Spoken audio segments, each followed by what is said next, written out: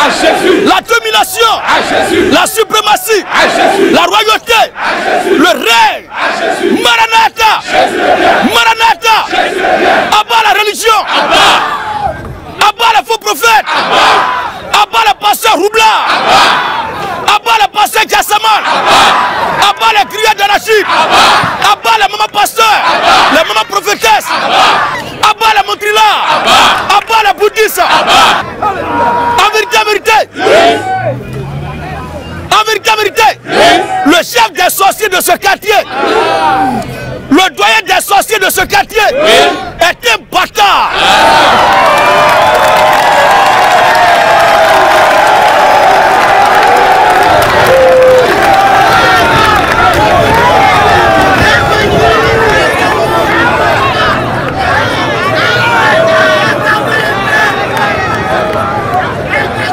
Alléluia. Amen. Tous ceux au nom du Père, du Fils et du Saint-Esprit, on vous a mouillé cadeau. Tous ceux qui ont fait le coup de baptême, le coup de base, les catéchuménats, Oui. sont des païens. Un pasteur qui essaie que le chrétien peut perdre le salut, c'est un pasteur du diable. Le chrétien ne perd pas le salut.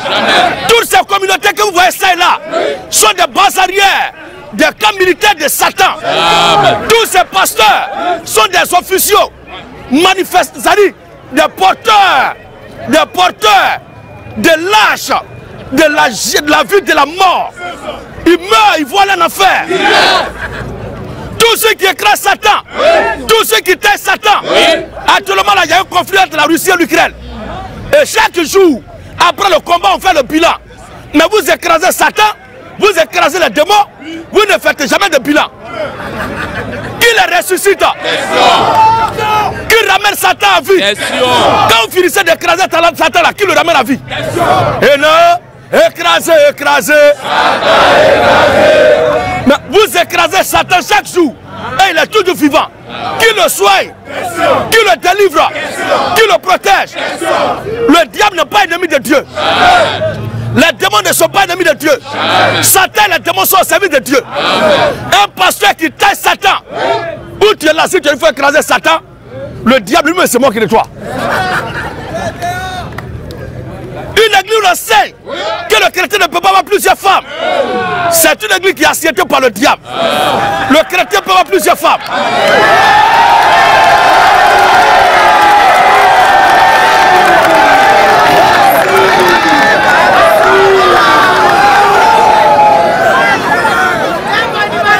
Vive le bon vin Vive le bon vin. Vive le bon vin Vive le bon. Mais à bas les buveurs de Belin Les buveurs de Capalo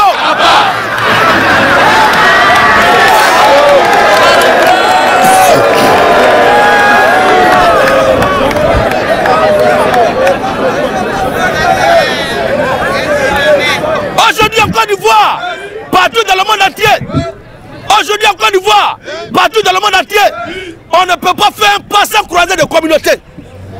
Et chaque communauté a son prophète. Il y a des pasteurs et des prophètes de famille.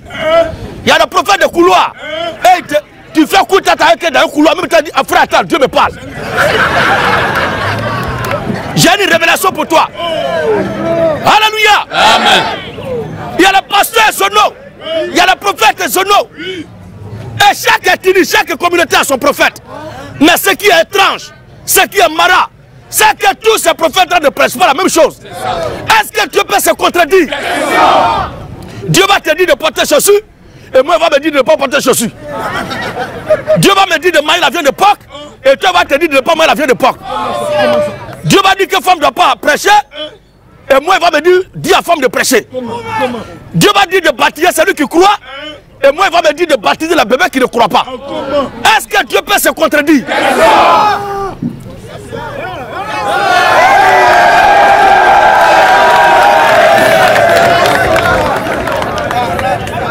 Alléluia. Il y a certains dieux. Il y a certains dieux. Pour leur parler là, pour leur parler, il faut se mettre dans une direction. Parce que leurs oreilles se trouvent dans une seule direction. Si tu te mets n'importe où pour parler là, les autres côtés de ses oreilles qui sont là-bas, il y a cailloux dans ses oreilles.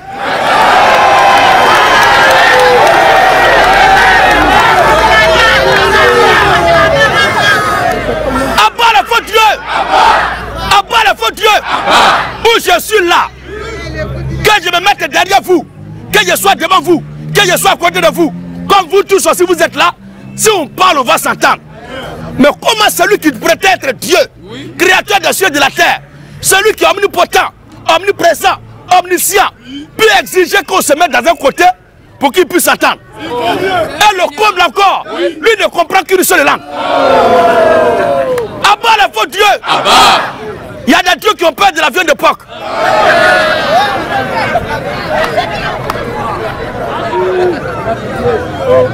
Il faut pitié. Alléluia. Quand le Seigneur Jésus-Christ est venu en Israël et qu'il a chassé les démons, ils ont demandé à Jésus, mets-nous dans le groupe de porc là. Même les démons n'ont pas peur de porc. Les démons n'ont pas peur de porc. Mais lui, il, dit, il est Dieu et puis il a peur de la viande de porc. Si nous le voyons, on ne va pas se fatiguer pour dire sort au nom de Jésus. Dès qu'on le voit, même dans met oreille de porc au. Il ne va pas.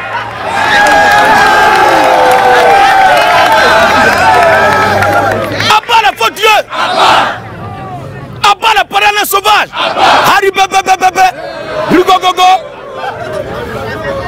Aujourd'hui, dans les, aujourd'hui, dans la communauté, quand les gens doivent parler dans leur langue là, ils regardent d'abord à côté pour voir si on n'est pas là. Ils ont peur. Tous les pasteurs des Tivos, vous êtes invités. Parce y a appris qu'ils ont mobilisé, sensibilisé leurs fidèles dans la communauté. Que cette semaine-là, le diable va venir à Divo. Maintenant, le diable est venu à Divo. Toi qui es Jésus, le Saint-Esprit, tu es où maintenant?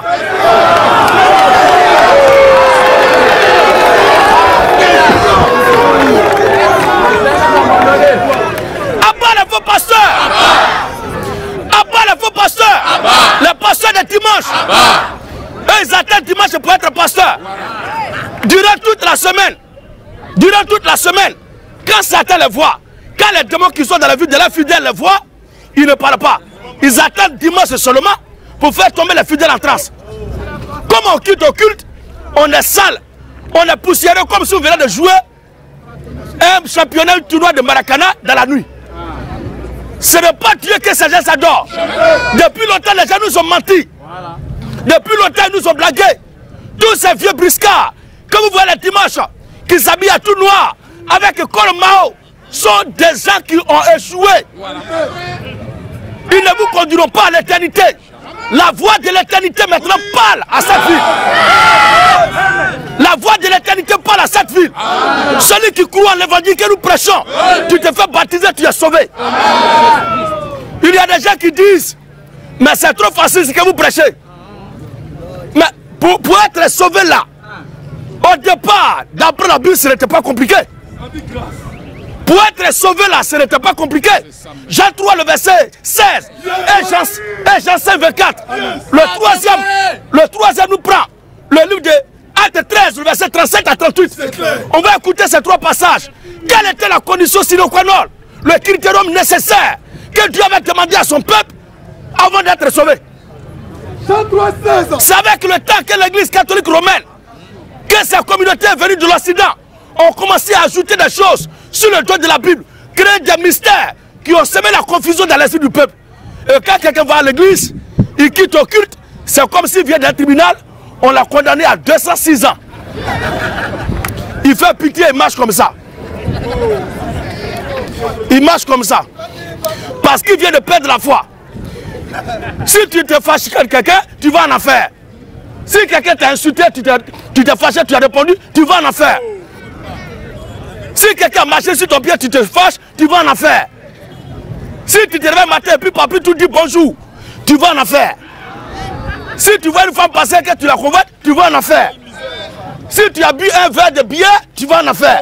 Si tu as bu un verre de koudoukou, tu vas en affaire. Dans ce cas-là, Alléluia. Dans ce cas-là, qu'est-ce qui doit nous sauver? Si, si mon bon comportement, si mon bon comportement doit m'amener au ciel, si mon bon comportement doit m'amener au paradis, Jésus est venu pour quoi alors? Jésus est venu faire quoi alors? Moi, je dois faire des efforts. Et d'autres se battent à la 10. Aide-toi et Dieu t'aidera. Dieu, c'est ton collègue.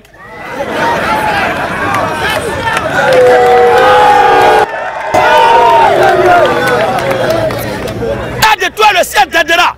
Aucun humain ne peut s'aider lui-même. Vous avez une fois vu une brebis se laver elle-même. Vous avez vu un bébé se prendre soin de lui-même. C'est la mère qui prend soin de l'enfant. C'est le berger qui prend soin de la brebis. C'est Dieu qui prend soin de ses enfants. Non, il faut chercher Dieu. Mais Dieu où? Entre moi et Dieu, là, qui voit mieux son ami? Alléluia Où je suis là, si Dieu ne me voit pas et que c'est moi qui dois le chercher, il n'a qu'à rester dans son coin.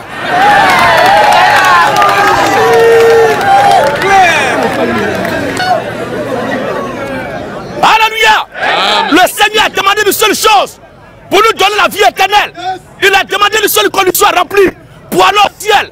Jean 3, 16. Jean 3, 16. Jean 5, 24 et acte 13. Je crois que tu y es. Oui, vas-y. Jean 3, 16. Il est écrit. Dieu, Dieu, Dieu a tant aimé le monde car Dieu a tant aimé le monde qu'il a donné son Fils unique qu'il a donné son fils unique. afin que quiconque croit en lui Écoutez bien.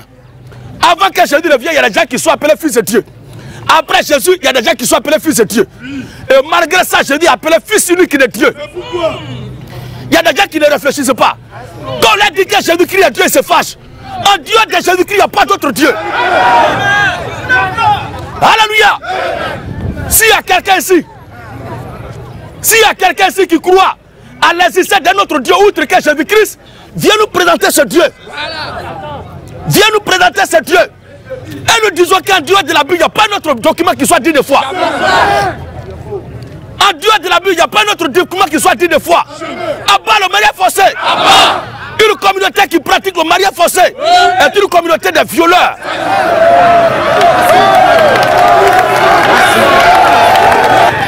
Alléluia. Car Dieu a tant aimé le monde Écoutez maintenant le texte. Écoutez maintenant ce qui est écrit. Car Dieu a tant aimé le monde Il a donné son Fils unique qu'il a donné son fils unique. afin que quiconque croit en lui Dieu a donné son fils pourquoi afin que quiconque croit en lui Afin que quiconque croit en lui ne périsse point ne périsse point. qu'il. Est-ce qu'il est écrit Dieu a tant aimé le monde qu'il a donné son fils unique? Afin que quiconque ne se fâche plus Mais quelqu'un t'insulte et tu ne veux pas que tu te fa- il, il se fâche. Quelqu'un marche sur mon pied et tu ne veux pas que je parle. Quelqu'un vole et tu ne veux pas qu'on le sanctionne. Mais les gens ne comprennent rien de la parole de Dieu. Est-ce qu'il est interdit d'exercer la justice de la société Non, l'église juge les gens seulement. Mais si le jugement est un péché, c'est que tous les, autorités de l'ordre public, les corps ils vont tous aller en enfer. C'est que tous les juges qui sont dans les tribunaux vont aller en. Les chefs du village vont aller en.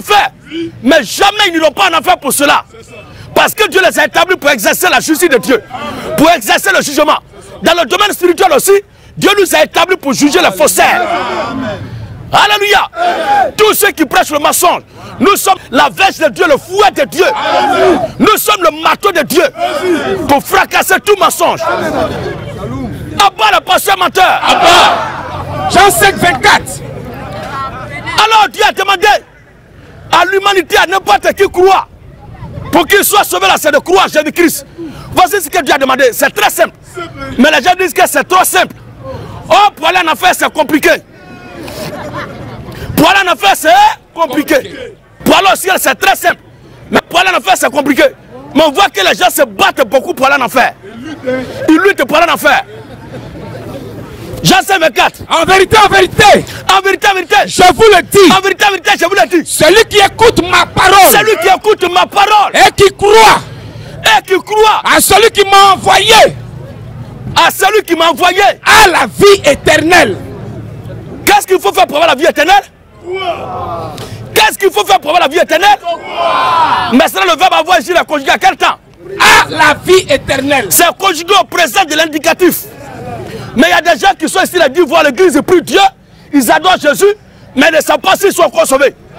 On leur met dans la tête là-bas, c'est au jugement dernier, on va savoir qui est sauvé, qui n'est pas sauvé. Mais comment une femme peut aller faire tout ça? Si elle n'a pas su qu'elle enceinte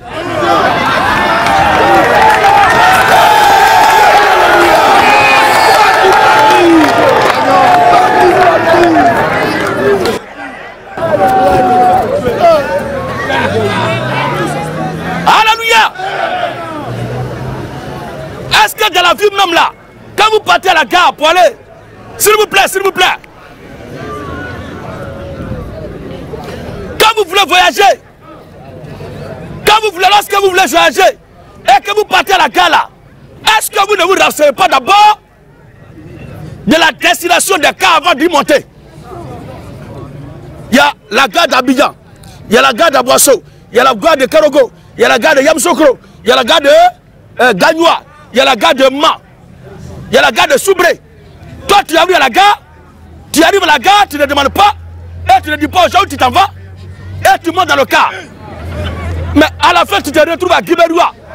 Et, et tu dis, mais où vous m'avez envoyé là? Mais toi, tu dis, tu voulais aller où au départ? Alléluia C'est la même chose aussi dans le domaine du salut. Le Seigneur nous situe d'abord avant de nous engager. Un homme qui s'en va draguer une femme là, il doit être à mesure de lui dire où il envoie.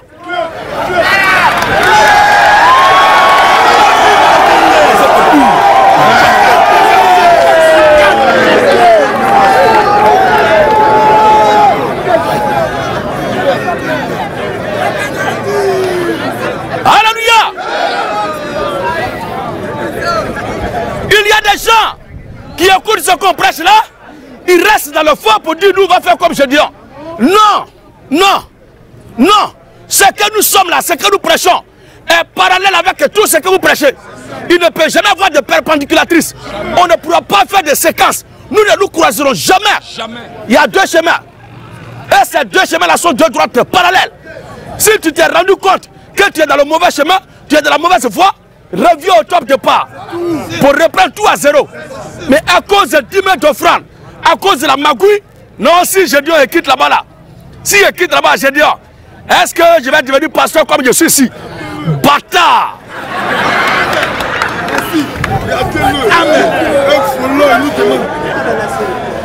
Alléluia Donc toi tu n'as pas Dieu pour le salut de ton âme. C'est afin d'être pasteur pour avoir 10 000 offrandes. La Bible dit il faut croire d'abord se faire baptiser. Nicodème, il était docteur de la loi. Mais quand il a croisé le Seigneur Jésus-Christ, il a accepté le principe d'aller au point zéro. Reprendre tout à zéro. Il faut qu'il naisse de nouveau. Il doit tout reprendre à zéro. On a vu le vieux Abraham. Quand Dieu lui parlait, il était déjà vieux. Et le Seigneur lui a dit pour que tu rentres dans mon alliance, il faut te faire circoncis. Abraham n'a pas dit je suis déjà vieux. Abraham s'est fait circoncis le même jour avec son enfant, plutôt ce petit bâtard là.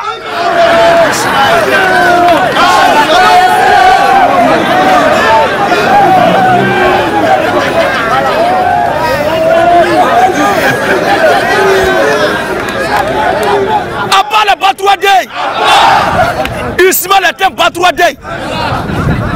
Dieu, Dieu ne le reconnaît pas. Le Seigneur Dieu a dit que c'est un âne sauvage. Abraham s'est fait circoncire le même jour qu'Ismaël. Il n'a pas dit non, je suis vieux, je ne peux pas me faire circoncire à mon enfant. Non, avec ce qu'on est né dedans et puis tu as accouché là, toi tu veux qu'on change. Non, ce n'est pas comme ça. La voix de Dieu, c'est lui que tu as choisi pour te conduire, peu importe son âge. Tu ne dois pas regarder sa tête, sa forme, son âge, non.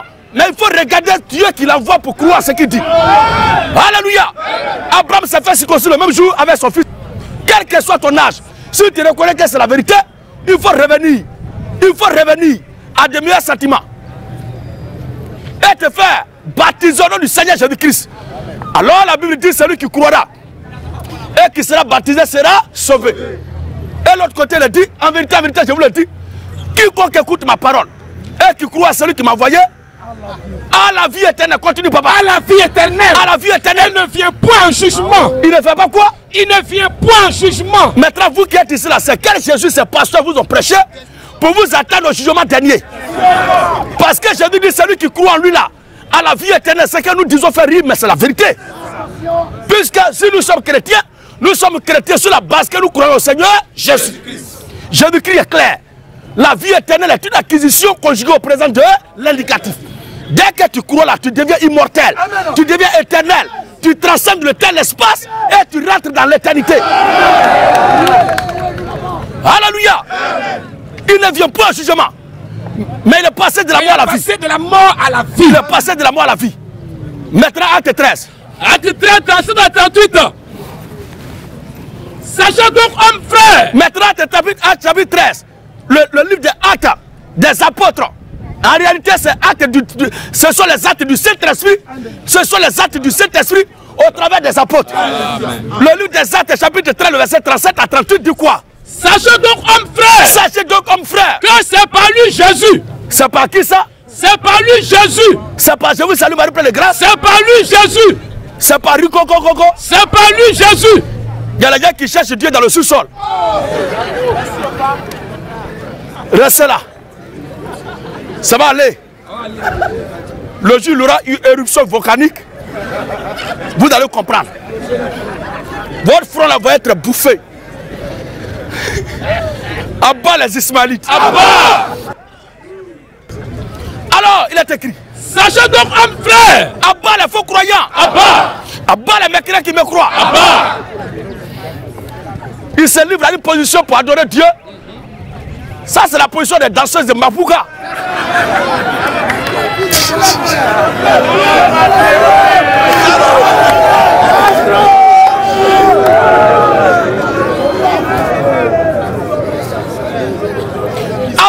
Abat les mamans pasteurs, les mamans apôtresses, les en blois. Sachez donc, homme frère, Sachez donc, acte chapitre 13, le verset 37 à 38 que nous lisons maintenant. Oui. Sachez donc, comme frère, que c'est par lui Jésus que c'est par lui Jésus que le pardon des péchés vous est annoncé. que le pardon des péchés vous est annoncé. Et que quiconque croit Quiconque croit en Jésus-Christ est justifié par lui est justifié par Jésus. de toutes les choses. Est justifié par Jésus De toutes les de choses. toutes les choses Donc vous ne pouvez être justifié par la loi de Moïse. dont vous ne pouvez être justifié par la loi de... Moïse. C'est-à-dire qu'en croyant en Jésus-Christ, la loi de Moïse n'a plus de pouvoir sur toi. Parce que Jésus-Christ est celui qui a donné la loi. Si tu crois en Jésus-Christ aujourd'hui même, tu as la vie éternelle. Alors, nous sommes là pour une campagne. Nous passons à la phase des questions et réponses.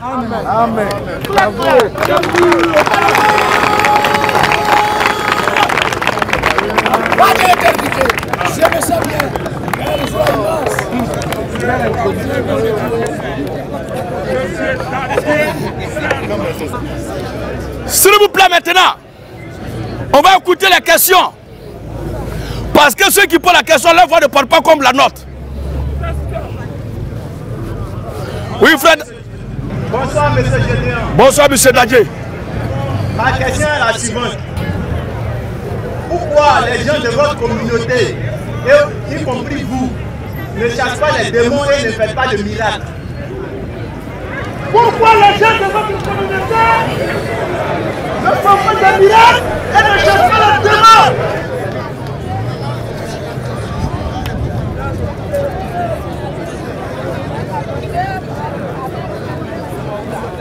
S'il vous plaît.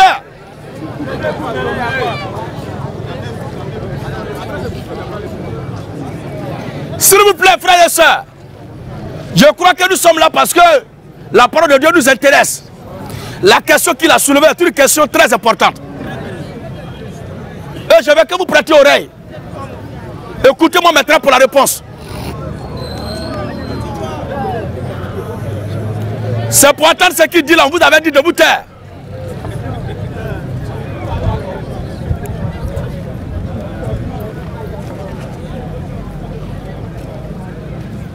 Le frère demande pourquoi mes frères de la foi, y compris moi- moi- moi-même, nous ne faisons pas de miracles, nous ne chassons pas de démons. C'est ça? Je n'ai pas écoché ta préoccupation. Oui, oui, c'est bien ça. Ok. Frère, je voulais te demander quelque chose. Parce que si je ne comprends pas bien le fond et la nature de ta question, je ne pourrais pas te répondre pour te satisfaire. Toutefois, la satisfaction ne vient que de Dieu seul. Je voulais te poser juste une question de compréhension. Est-ce possible? Ok. Est-ce que toi, tu as la capacité de voir des démons S'il vous plaît.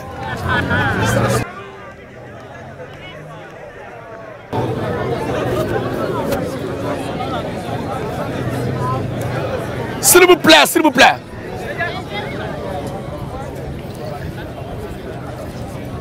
S'il vous plaît, un peu de silence. Vous vous plaignez de- du fait que vous n'entendez pas ce qu'il dit, mais vous bavardez. Donc écoutez, Donc je lui réponds la question. Il dit, il a fait une observation, il dit que moi je dis à mes frères de la foi, nous ne chassons pas des démons, nous ne faisons pas de miracles. C'est ce qu'il dit. Je prends la première partie. Je lui pose la question de savoir, est-ce que lui, le frère d'Adjé, Charles, est-ce qu'il a la capacité de voir des démons J'ai dit non. Il dit non. Maintenant, c'est que tu ne peux pas voir. Si on chasse là, comment tu peux savoir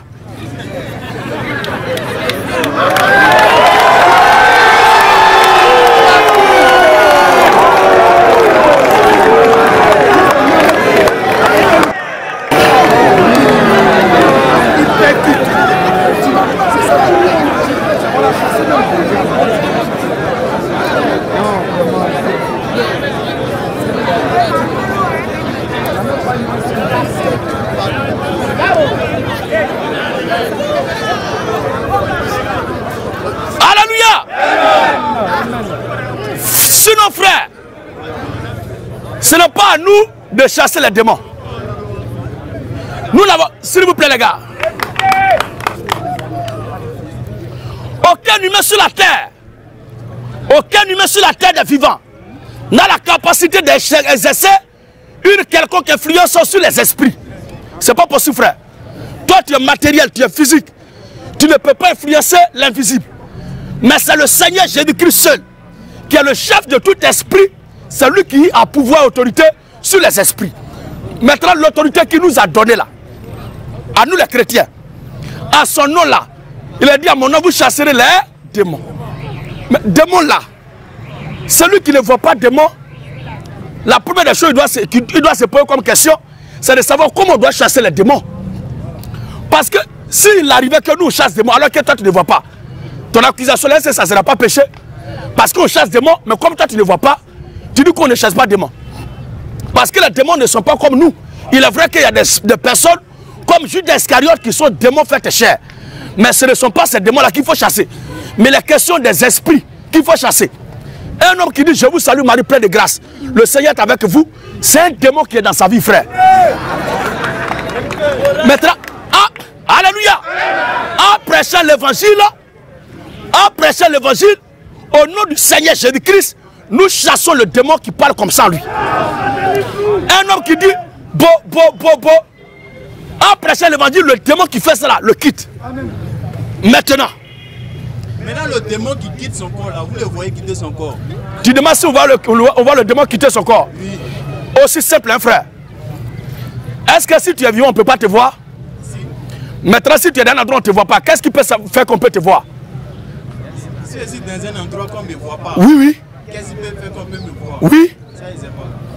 C'est par tes activités, par ton action. Tu vois un peu? C'est par tes actions. Si tu es dans une maison et qu'il y a les moustiques, tout naturellement, qu'est-ce qu'ils font? Ils font du bruit. Ils font du bruit. Maintenant, si tu as baïgotisé, tu as mis baïgon dans la maison, comment tu peux savoir que les moustiques là sont partis? Le, a se coupé. Le bruit va se... Voilà. Voici qui est clair.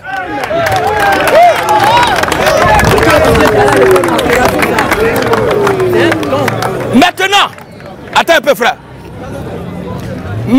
Alléluia. Maintenant,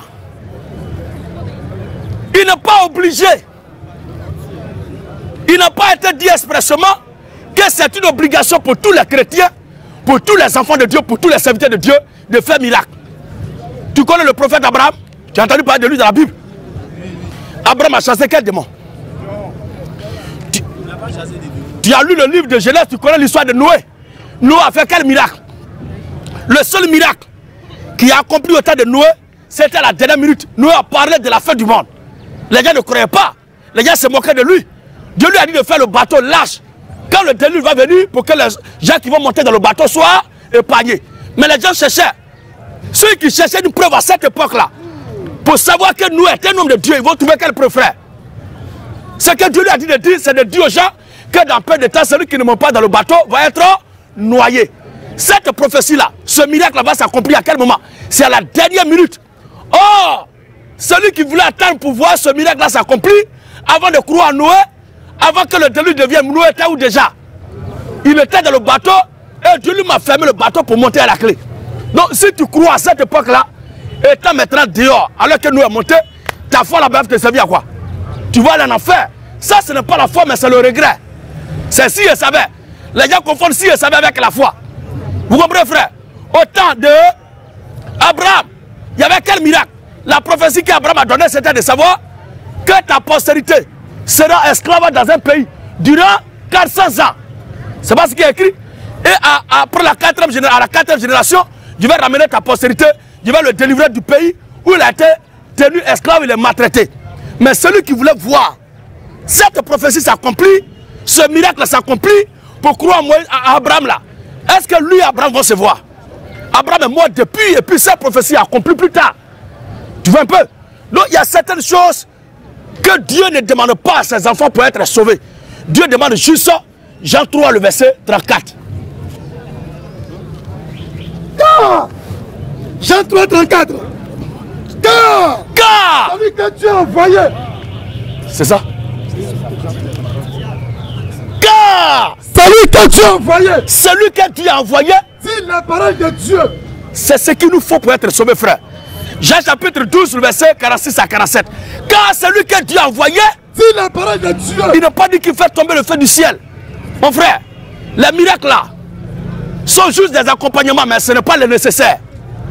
Ce n'est pas ce qu'il nous faut pour être sauvé. Tu comprends, non? Une femme qui a kiss ou fibrole, ou elle a assez donné le cordon ombilical attaché le cou de la femme.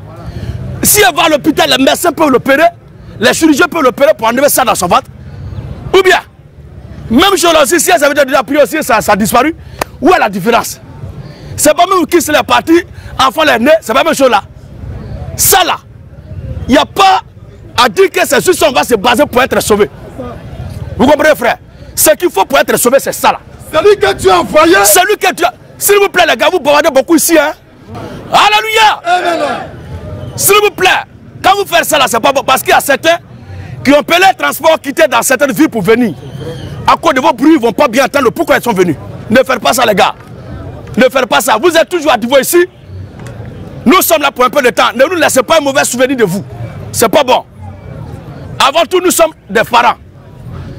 Et ce que Dieu a envoyé, nous sommes là pour partager avec vous. Je pense que c'est juste.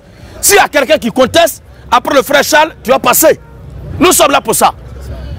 La chose que vos pasteurs se cachent, c'est vous qui ne savez pas de quoi il est question. Sinon, eux ils savent. Dieu connaît Barret qui est loup. Mais c'est vrai qu'il y a caillou dedans là qui fait exprès.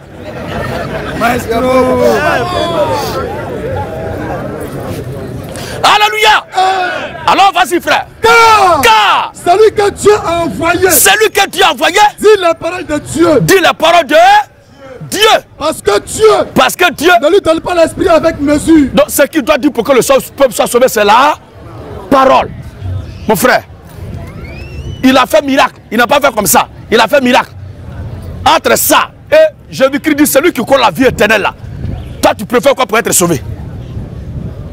Je préfère la parole. Voilà. Parce que nous sommes là, frère. C'est vrai, je ne, dis pas ça pour esquiver ta question. hein. Mais je suis en train de te dire ce qui est juste. Il y a les serviteurs de Dieu avec lesquels Dieu a fait des miracles. On ne peut pas contester ça. Mais il y a ceux aussi avec qui Dieu n'a pas fait de miracles. On ne peut pas aussi dire que ceux qui n'ont pas fait de miracle là ne sont pas envoyés de Dieu. Mais la seule chose qui lie les deux groupes, c'est la parole. Vous suivez bien, frère? Oui, frère.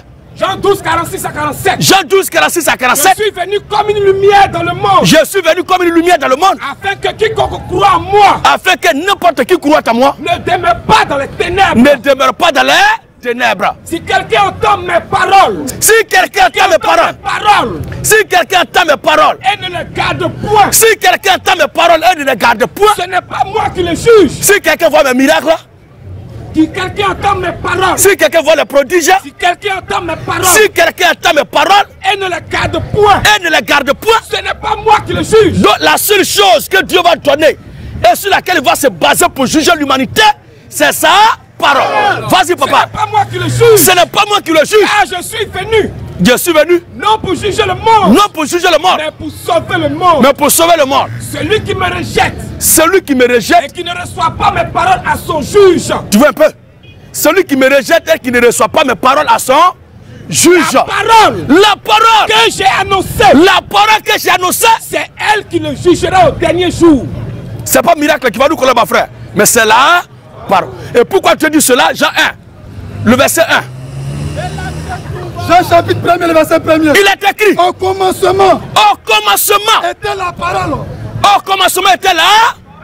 Au commencement n'était pas de miracle. Au commencement n'était pas de prodige. Au commencement n'était pas de merveille. Au commencement n'était pas de mythe, ni de légende. Mais au commencement était là. Parole. Parole. Et la parole Et la parole était avec Dieu. était avec Dieu. Et la parole était Dieu. Il y a des plaisantins, certains ignares, qui sont victimes d'une constipation intellectuelle. Qui racontent des- S'il vous plaît, hein, la parole de Dieu ne peut être Dieu que si la parole est créée. Mais c'est écrit où que la parole a été créée. C'est écrit où Vous ne dites rien de bon. Vous souffrez d'une dépression de l'enfer que vous a, on vous a réservé à la fin de votre vie. Nous, notre Dieu est le Dieu de la certitude. Au commencement était la parole, La parole était avec Dieu. la parole était avec Dieu. Et la parole était Dieu. Pourquoi c'est la parole qui va juger toutes choses? C'est parce que la parole est Dieu, puisque c'est Dieu qui doit juger tout. Vous voyez, frère Donc, sans la parole, peu importe ce que quelqu'un fait, il n'est que vanité des vanités. Tout est vanité. L'apôtre- Le prophète Jean-Baptiste, lui qui présenta, qui a eu l'insigne honneur, le prophète le plus distingué, qui fut la conclusion des croyants, des envoyés de Dieu de l'Ancien Testament, et qui est aussi le point de départ des prédicateurs du Nouveau Testament. Écoutons la- la- euh, le prophète Jean-Baptiste à son- Jean 10, 40, 41. à son sujet. Jésus sera là de nouveau du lac du Jourdain. Jean chapitre 10, le verset 40 à 41.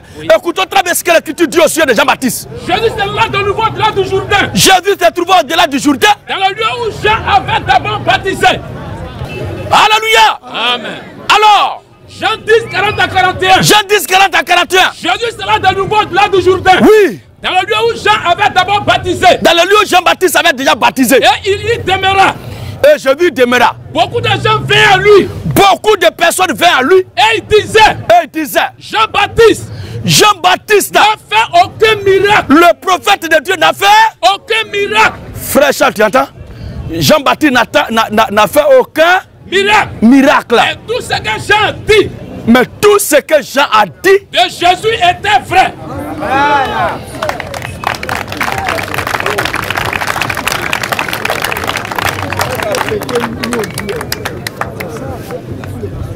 Parce que, mon frère, peu importe ce que quelqu'un va faire, nous, ce qui nous intéresse là, c'est ce qui a voix au ciel. Et ce n'est pas à nous d'imposer à Dieu de nous donner de faire telle chose, de nous faire. Non, non, non. Nous, on est à son service. S'il veut qu'on fasse miracle, on va le faire. S'il ne veut pas aussi, on est là. Je suis bien d'accord sur tes propos. Et les versets qui avancés, je suis d'accord avec. Au commencement était la parole, mais ça n'a pas empêché Jésus de ressusciter Lazare. Au commencement était la parole, mais ça n'a pas empêché Jésus de guérir Effectivement. et de soigner. Effectivement. Que je- Ma question était de savoir, Donc, qui guérissait? Jésus, C'est Jésus qui guérissait. oui, Maintenant, si moi, il ne m'a pas donné de guérir, il fait quoi? Vous ai pas donné de vous- Non, c'est une question. C'est une question. je suis bien d'accord. Parce que moi, me comparer à Jésus, ça serait de l'imposture. Jésus qui est le créateur des cieux et de la terre. Mais vous avez comparé Jésus à Jean-Baptiste. Moi, je dis, oh, Jean-Baptiste n'a pas fait de miracle, Jésus a fait miracle, c'est ce qu'il nous avait dit. mais ça, c'est pas une comparaison. Lui aussi d'accord. Quand, quand il te prenait Abraham, qu'est-ce que tu as dit? Quand il te prenait Noé, qu'est-ce que tu as dit? Frère, J'étais d'accord avec. voilà, on ne peut pas forcément trouver et faire tout pour trouver un, point de dissension. Accordons-nous un temps soit à être d'accord avec ce que la Bible dit. Moi, je ne suis pas contre ce que tu as dit. Je reconnais qu'un homme de Dieu peut, un enfant de Dieu peut, par la puissance de Dieu, faire des miracles. Mais on ne doit pas utiliser le préalable, qui est le verbe devoir, pour dire qu'un enfant de Dieu doit faire un miracle. Non, mais peut. Tu comprends un peu? Où je suis là, si Dieu veut qu'il fasse, fasse miracle, qui, qui va s'opposer à ça? Question. Maintenant, quand je dis à faire miracle, ce n'est pas à la demande des gens qui l'a fait miracle. Quand les apôtres aussi, Dieu fait miracle par eux, ce n'est pas sur l'injonction du peuple, de la, de la foule du public, non. Moi, je suis là pour faire ce que le Seigneur me recommande de faire. Maintenant, si lui-même il veut faire autre chose, il le fait. Tu comprends un peu? Voilà, voilà ce que je suis en train de te dire. Maintenant, la deuxième question, qui était de savoir, Ma, deuxième question était de savoir, il faut être baptisé avant d'aller au paradis? Frère, puisque tu me poses la question, toi et moi, nous sommes postérieurs. Toi et moi, nous sommes postérieurs à l'ordre de recommandation d'aller baptiser que le, donné le Seigneur Jésus-Christ. Nous ne sommes pas antérieurs à, ce- à cet ordre. Tu suis bien? Donc, conformément à notre position vis-à-vis de l'ordre de baptême donné par le Seigneur Jésus-Christ qui n'est pas antérieur mais qui est postérieur, je le dis et je le répète, quiconque qui n'est pas baptisé au nom du Seigneur Jésus-Christ ne peut pas être sauvé. J'ai suivi une de, vos, de votre vidéo Oui où vous avez dit pour aller au paradis, il faut être prédestiné. Maintenant, là où vous parlez de baptême, je ne comprends pas bien, il n'arrive pas à saisir. Pour aller au paradis, il faut être Prédestiné. prédestiné. Quand on dit par exemple l'examen qui vient là, c'est ceux qui sont prédestinés à avoir le bac. C'est ceux qui sont prédestinés à avoir le bac. Hein, ça dit qu'ils ne vont pas composer?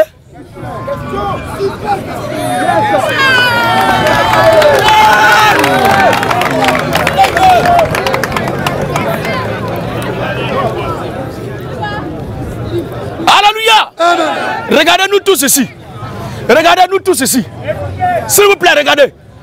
Nous tous ici, plus ou moins la majorité allait- a été inscrite à l'école au classe de CP1 par les parents. Tu suis bien? En classe de CP1, il y a eu des gens qui ont été éliminés. Ils sont partis au village.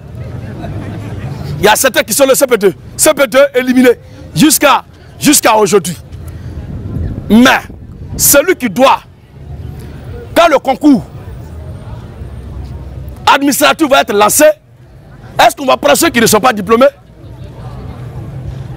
Est-ce qu'on va prendre ceux qui ne sont pas diplômés? Voilà. N'ayez pas peur, frère, c'est pour causer. Alors, les élèves qui vont à l'école, à chacun se met à tête que je vais à l'école pour devenir quelqu'un demain. Mais est-ce que c'est tous ceux qui vont à l'école qui deviennent quelqu'un vraiment? Il y a certains qui étaient des brillants universitaires et qui sont devenus chefs rebelles. Est-ce qu'il y a une faculté à l'université où on étudie la filière rébellion? Il y a certains brillants élèves qui sont devenus des braqueurs. Est-ce qu'à l'école, à l'université, il y a une faculté où on étudie le braquage? Mais malgré tout, ils sont devenus des braqueurs. Nous tous, on va à l'école, c'est vrai. Mais le reste de notre devenir là, c'est la prédestination, le destin maintenant qui va jouer. Acte chapitre 13, le verset 39 à 40. Acte 13, 39 à 40. Alléluia. Oui. Les pays se réjouissaient. Lis le verset 47-48. Amen. Car Car, ainsi, ainsi, nous l'a ordonné le Seigneur. le Seigneur nous a ordonné de prêcher sa parole. J'étais établi J'étais établi pour être la lumière des nations. pour être la lumière des nations, Pour porter le salut pour porter le salut. jusqu'aux extrémités de la terre. Mais Le salut va être porté jusqu'aux extrémités De la terre. de la terre. Mais ça, ça dit que tous ceux qui sont de là où il est en train de parler jusqu'aux extrémités de la terre vont avoir le salut? Regardez maintenant qui sont ceux qui vont recevoir le salut? Les pays se réjouissaient Les païens se réjouissaient. en attendant la parole. Le salut est prêché, la bonne nouvelle est prêchée. Oh, il a dit jusqu'aux extrémités de la terre. Et ça dit que tous ceux qui sont de là où il est, jusqu'aux extrémités de la terre vont recevoir le salut? Regarde maintenant comment tu vas procéder. Quand cette parole de vérité était prêchée, les païens se réjouissaient En attendant la parole. en attendant la parole. Ils glorifiaient la parole du Seigneur. Ils glorifiaient la parole du Seigneur. Et tous ceux Et tous ceux qui étaient destinés qui étaient destinés, à la vie éternelle crue. Tous ceux qui étaient destinés à la À vie la vie éternelle, crue. tous ceux qui étaient destinés à la vie éternelle, Crue. il est vrai que nous sommes venus prêcher l'évangile à Divo. Nous sommes venus annoncer le salut. Mais c'est tous ceux qui sont destinés au salut qui vont croire. Maintenant, ceux qui croient là, il a dit, celui qui croira et qui sera baptisé sera sauvé. Marc 16, 15 à 16. Le verset 15 à 16. Il est écrit. Puis Jésus l'a dit Puis Jésus a dit, Allez par tout le monde allez par tout le monde, et prêchez la bonne nouvelle prêchez la bonne nouvelle à toute la création. à toute la création. Celui qui croira Celui qui croira et qui sera baptisé et qui sera baptisé sera sauvé. sera. Sauvé. Celui qui croira et qui sera baptisé sera. Sauvé. Or, quand l'évangile est prêché là, la Bible dit c'est ceux qui sont destinés, À la vie éternelle crue. c'est ceux qui sont destinés à la vie éternelle qui croient. Vous comprenez, frère bien? Alors, le baptême d'eau est la continuité ou encore la réalité procédurale qui suit dans les normes le destin pour l'acquisition du salut. Même le Seigneur Jésus-Christ, lui-même, quand il prêchait l'évangile, Jean 6, quand il prêchait l'évangile, les gens murmuraient le Seigneur dit Pourquoi vous murmurez? Pourquoi vous murmurez?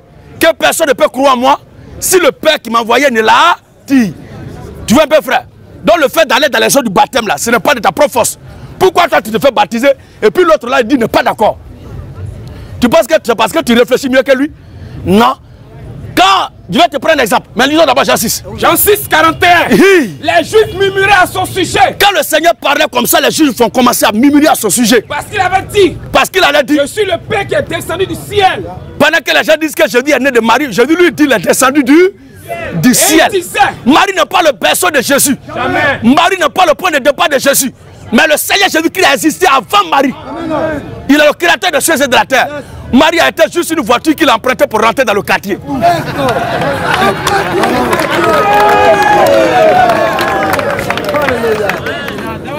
Et il disait Il disait, N'est-ce pas là Jésus, n'est-ce pas là Jésus, le fils de Joseph, le fils de Joseph celui dont nous connaissons le Père et la Mère Voilà. Comment donc dit-il Je suis descendu du ciel? Eux-mêmes, ça les scandalisait. Les Ismaélites à cette époque étaient troublés. Comment quelqu'un qui est né de Marie là, lui peut dire qu'il est descendu du ciel? Mais il, est, mais il est descendu du ciel. Alléluia.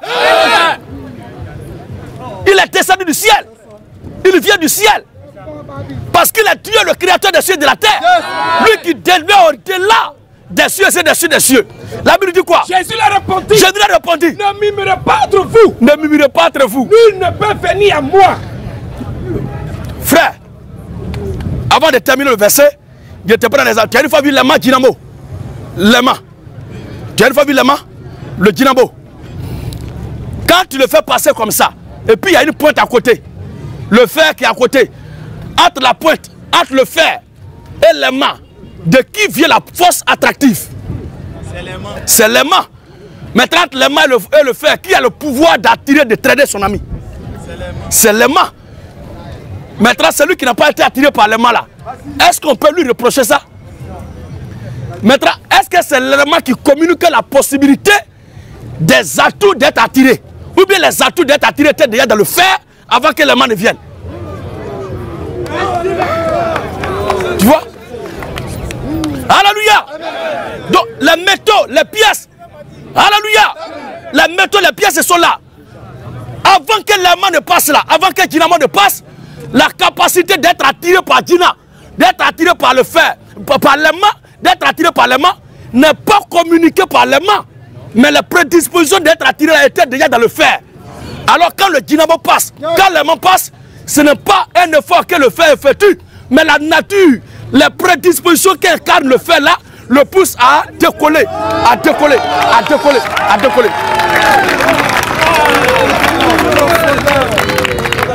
Alléluia. À partir de ce moment, le fer n'a plus de volonté. Le fer ne peut plus faire ce qu'il veut.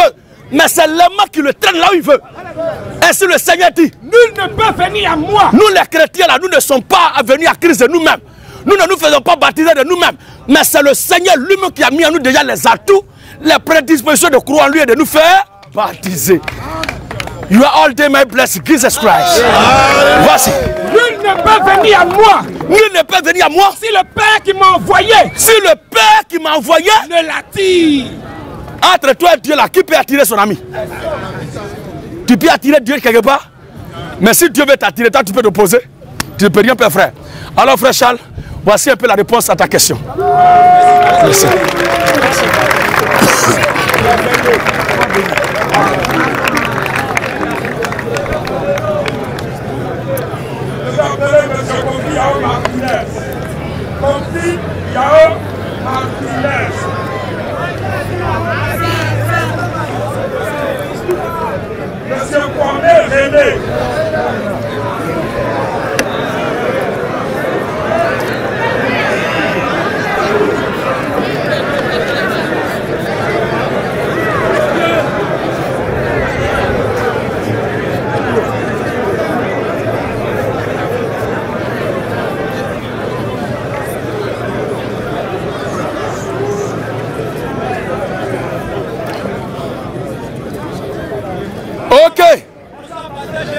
Ouais, bonsoir, frère Martinez.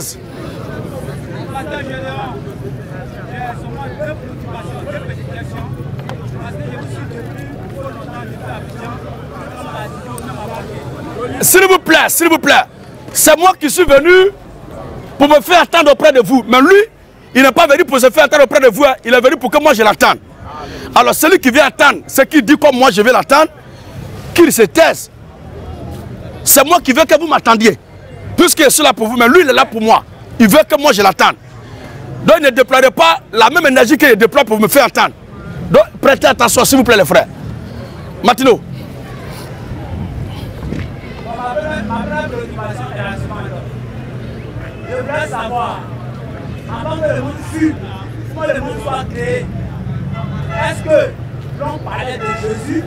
Est-ce que Jésus était populaire?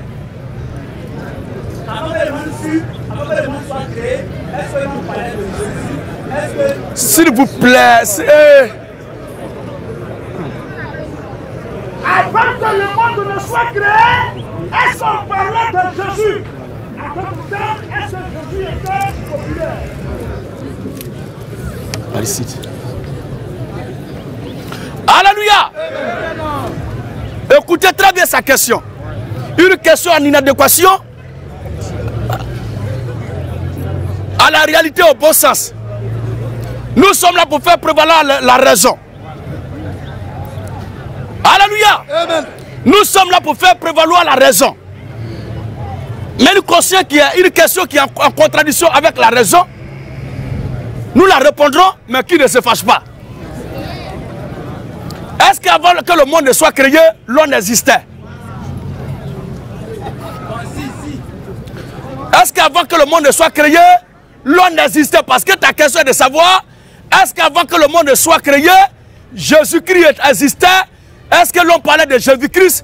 Est-ce que Jésus-Christ était populaire? Je te pose la question, est-ce qu'avant que le monde soit créé, l'homme existait? Avant que le monde soit créé, l'homme existait, L'homme existait.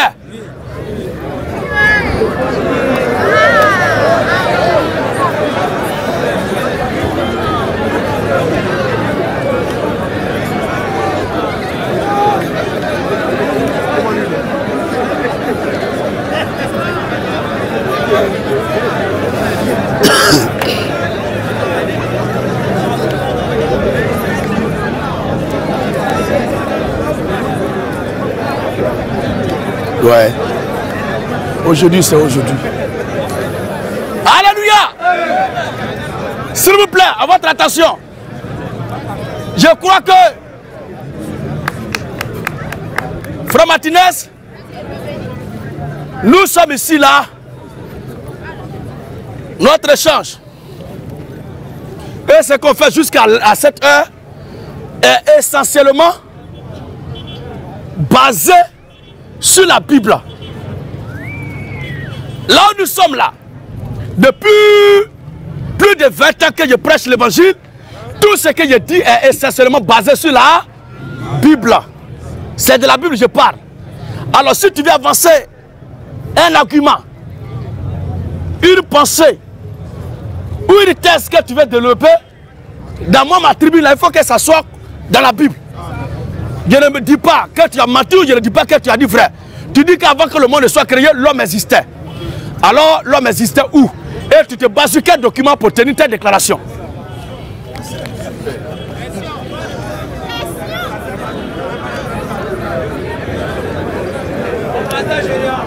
Oui, sur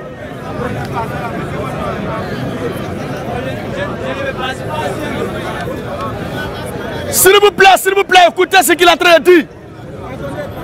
Tu dis quoi, frère Martinez? Pasteur Gélion, je ne me passe pas sur aucun document. Tu ne te bases sur aucun document. Et malgré tout, tu dis que l'homme l'homme existait. Nous, nous sommes chrétiens. L'être humain est la dernière créature de Dieu. Bien entendu, le monde existait d'abord avant que Dieu ne crée l'homme. Pour preuve, voici ce que la Bible dit. Genèse 1 Genèse chapitre 1er. et aussi le verset, le chapitre, euh, euh, le verset 26 à 27. On va voir les deux passages. Genèse chapitre 1er. Oui, Le verset 1er. le verset premier. Au commencement, Au commencement, Dieu créa les cieux et la terre. Tu entends bien?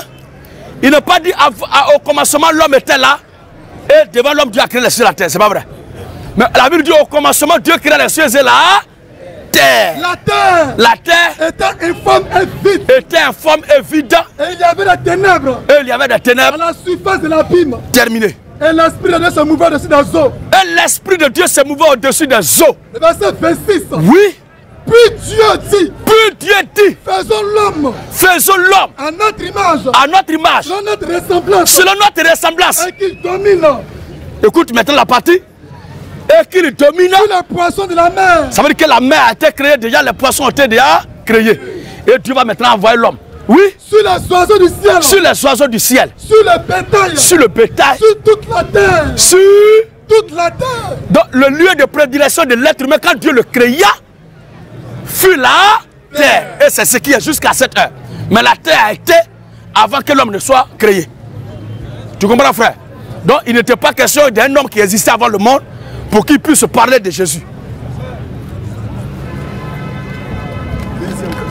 Deuxième question.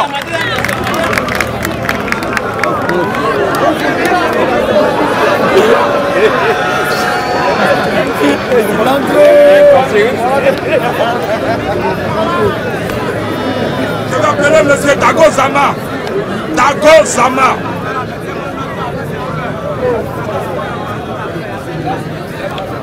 Commandant.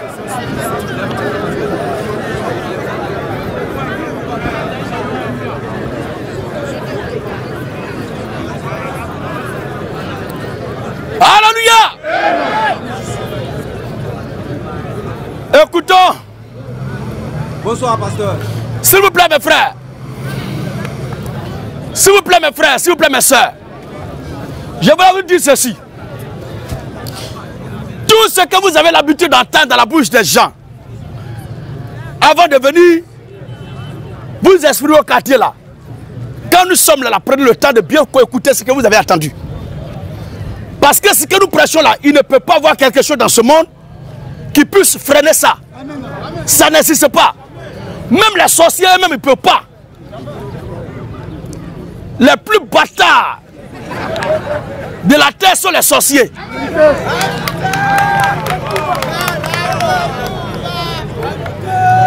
Alors, prêtez bien attention et avant de poser vos questions, revoyez bien. Ça arrive. Alors, frère Dagua, vous avez la parole. Bonsoir, pasteur. Bonsoir. J'ai suivi une de vos vidéos où vous avez dit que, un, d'abord, on ne peut pas faire le salut. Et de deux, le J'ai salut, suivi une de vos vidéos dans laquelle vous déclarez qu'on ne peut pas perdre le salut. et de deux, on obtient le salut par grâce et sans effort. Et de deux, on obtient le salut sans effort, par grâce. J'ai découvert trois versets bibliques que nous allons lire ensemble. Alors, j'ai découvert trois versets bibliques. Oui, que nous allons ensemble parcourir. effectivement. Apocalypse 2, le verset 7 d'abord. Apocalypse 2, 7. Oui, oui.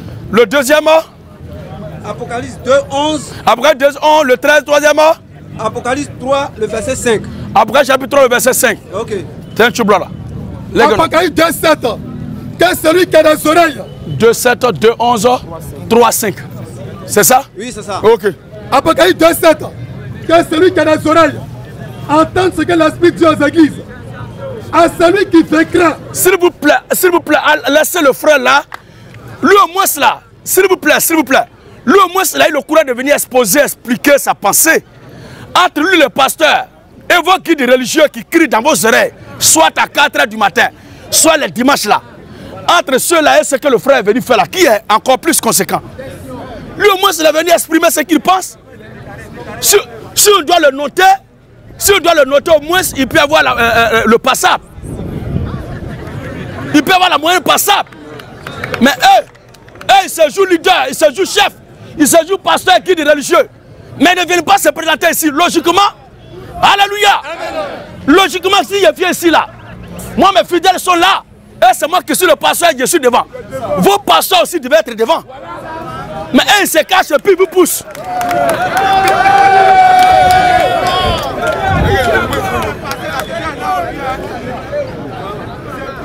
Ce dimanche-là, Ce dimanche-là, dès que vous voyez vos pasteurs, demandez-lui pourquoi tu n'es pas venu quand Jésus est venu.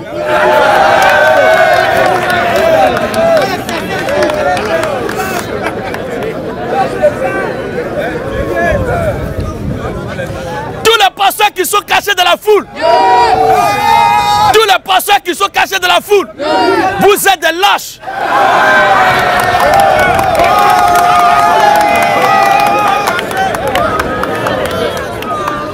Alors,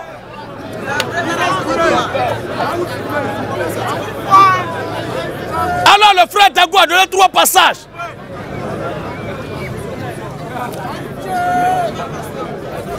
Le frère Dago a donné trois passages. On va les lire maintenant. Apocalypse 2, 7.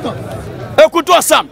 Que celui qui a des oreilles entende ce que l'Esprit dit aux églises? On fait la lecture maintenant des trois passages bibliques que le frère Dago a donnés. Apocalypse 2, le verset 7. Oui. Que celui qui a des oreilles entende ce que l'Esprit dit aux églises? À celui qui vaincra, je donnerai à manger de l'arbre de vie qui est dans le paradis de Dieu. Apocalypse 2, 11. Que celui qui a des oreilles entende ce que l'Esprit dit aux églises.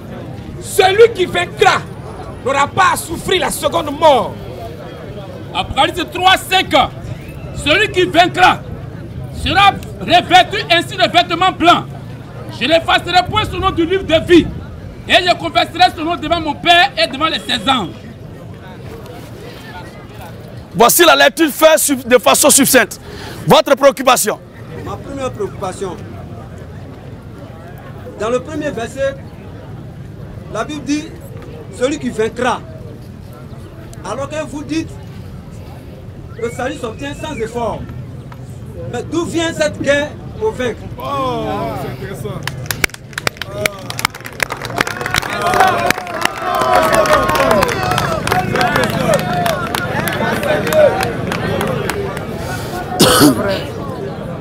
Frère Dago, vous remarquez très avec moi. S'il vous plaît, les gars.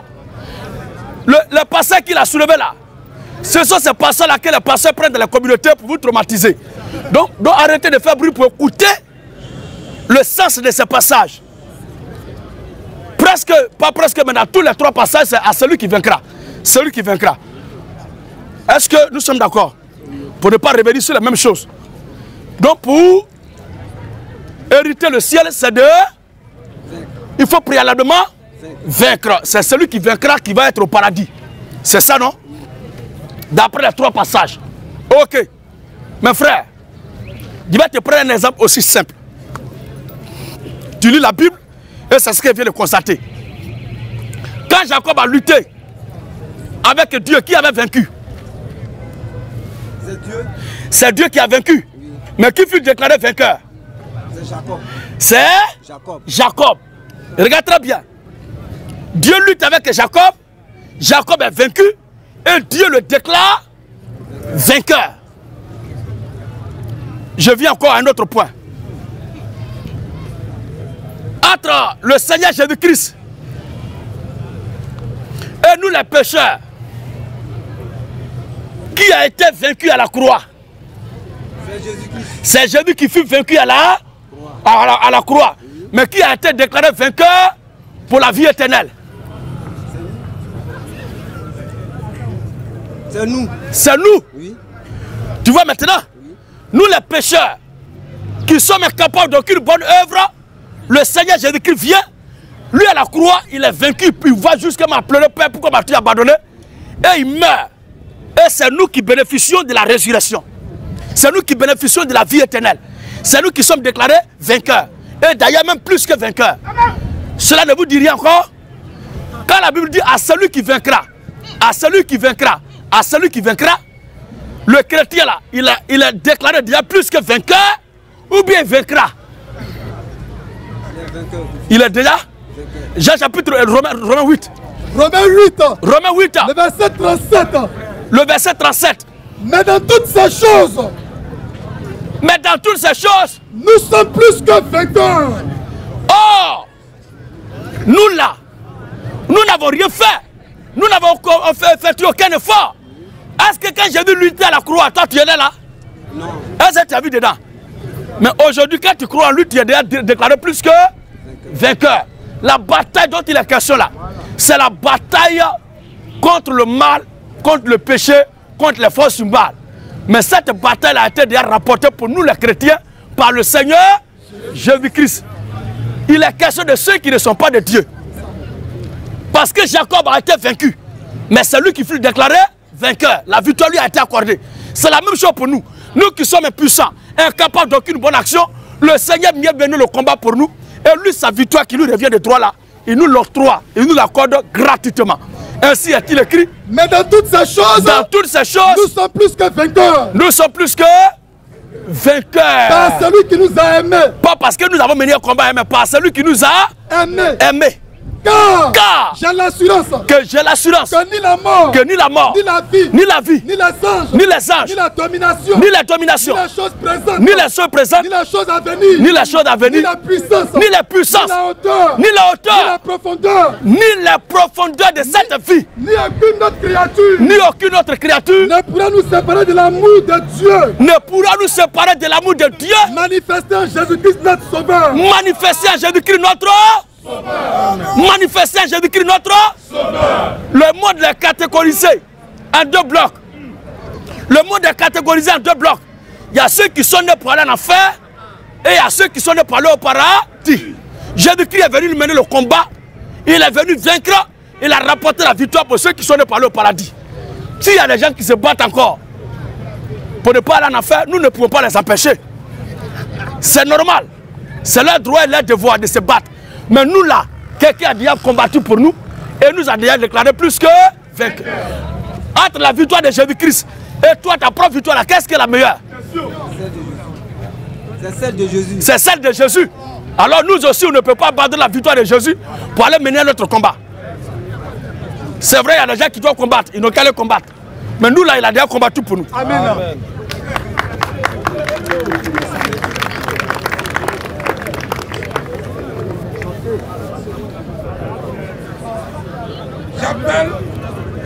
Madame Kouda Charlotte. Madame Kouda Charlotte. Alléluia Ok les gars, s'il vous plaît. De temps en temps, il faut qu'on s'ambiance un peu.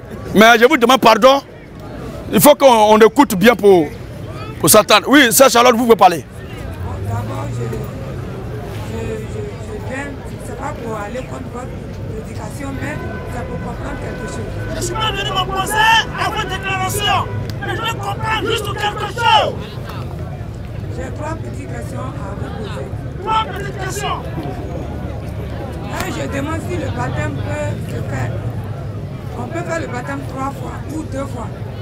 Est-ce que le baptême se, se, se fait plusieurs fois? À deux ou trois séances De deux, je demande si une femme qui n'est pas vierge, qui a déjà connu un homme, on peut célébrer son mariage à l'église. Une femme qui n'est pas vierge. Est-ce que son mariage peut être célébré à l'église Deux, trois.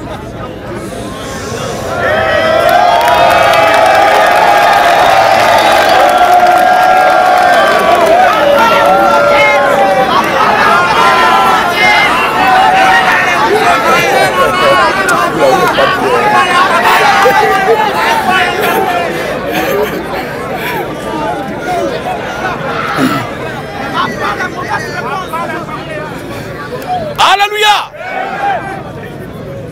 Je voulais répondre à Le problème du baptême, écoutez bien. Un élève ou bien quelqu'un qui vient avoir le bac, est-ce que si longtemps qu'il n'a pas eu le bac, il ne doit pas passer ça autant de fois? S'il a la possibilité, il doit le faire. Mais est-ce qu'on peut avoir bac plusieurs fois? Parlant de la virginité, est-ce qu'on peut perdre la virginité plusieurs fois C'est une seule fois. Voilà. Aussi longtemps que la virginité n'est pas perdue, tu la conserves. Mais une fois que tu l'as perdue, c'est terminé. C'est la même chose aussi pour le cas du baptême. Aussi longtemps que le baptême, tel que la Bible a recommandé, tu ne l'as pas encore reçu, tout ce que tu as reçu là, c'est légalement. Tu ne peux pas avoir le salut dedans. Il n'y a pas de vie dedans. Parce que la Bible reconnaît un seul baptême. Il y a un seul baptême. Ephésiens 4, le verset 4 à 6. Ephésiens 4, 4 à 6. Il est écrit Il y a un seul corps il y a un seul corps et un seul esprit. et un seul esprit. Comme aussi, Comme aussi, vous avez été appelés à une seule espérance. comme vous avez été appelé à une seule espérance, votre vocation, par votre vocation, il y a un seul Seigneur, il y a un seul Seigneur. une seule foi, Combien de fois? Une seule foi. j'écoute des gens à la télévision, j'écoute les gens ça et là qui se disent des sages et disent que chacun a sa foi. Si Dieu avait voulu que tout le monde ait la même foi, il n'aurait pas avoir plusieurs religions. Mais qui vous a dit que Dieu est la base de la religion? Qui vous a dit que Dieu est l'auteur des religions? Les religions sont l'œuvre de Satan. Mais Dieu est l'auteur de la vérité. Dieu est le, est- est le chemin de la vie éternelle. Alors, aussi longtemps que vous n'avez pas reçu la foi, cette seule foi dont la Bible parle, Oui. tout ce que vous avez reçu jusque-là n'est pas la vérité. Bien entendu. Une seule foi, Une seule foi, un seul baptême. un seul. Baptême. C'est pourquoi, aussi longtemps que vous n'avez pas reçu ce baptême-là, tout ce que vous avez reçu devant Dieu, vous n'êtes pas encore à lui. Vous n'êtes pas encore converti. Écoutez un peu, il y a des gens qui ont été baptisés, comme vous le dites là, mais ils ont croisé les authentiques serviteurs de Dieu. Qu'est-ce qui se passait ce jour-là? Acte Acte 19, le verset 1 à 5. Le verset premier. Oui. Pendant qu'Apollos Pendant qu'Apollos était à Corinthe, était à Corinthe, Paul, Paul, après avoir parcouru la haute province de l'Asie, Paul après avoir parcouru les hautes provinces de l'Asie, arriva à Éphèse, Paul arriva à Éphèse. ayant rencontré quelques disciples, Ayant rencontré quelques disciples, leur dit Avez-vous reçu le Saint-Esprit Avez-vous vous reçu le Saint-Esprit quand vous avez cru? Et il lui répondit, Avez-vous reçu le Saint-Esprit quand vous avez cru? Et il lui répondit, Il lui répondit nous n'avons même pas entendu dire Nous n'avons même pas entendu dire qu'il y a un Saint-Esprit. qu'il y a cet esprit. Et Paul dit, Paul dit maintenant de quel baptême C'est quel baptême avez-vous donc été baptisé? Donc, s'il pose cette question-là, c'est qu'il y a plusieurs baptêmes, mais qui ne sont pas reconnus de Dieu. Parce qu'il y a un seul baptême qui est reconnu de Dieu. Oui, Paul dit Mais c'est quel baptême vous avez reçu? Et il répondit, Pour ne pas que vous ayez reçu encore le Saint-Esprit. Oui, et il répondit, Hein? du baptême de Jean-Baptiste. du baptême de Jean-Baptiste. Alors Paul dit, Paul dit Jean-Baptiste Jean-Baptiste a baptisé du baptême de repentance, a baptisé du baptême de repentance. disant au peuple de croire celui qui venait après lui. Le baptême là est le chapeau, est le résultat, la conclusion, la finalité de ce que vous avez reçu antérieurement comme foi. Si ce que vous avez reçu n'est pas la parole de Dieu, c'est comme un calcul. On dit 2x plus 1 égale. Il faut trouver l'identité de l'inconnu qui est là, le X. Si dans les calculs de départ, tu as faussé pour mettre 1, 0,01, le reste là, ça va échouer. C'est zéro. C'est comme en statistique. Ou bien vecteur. Dès le départ.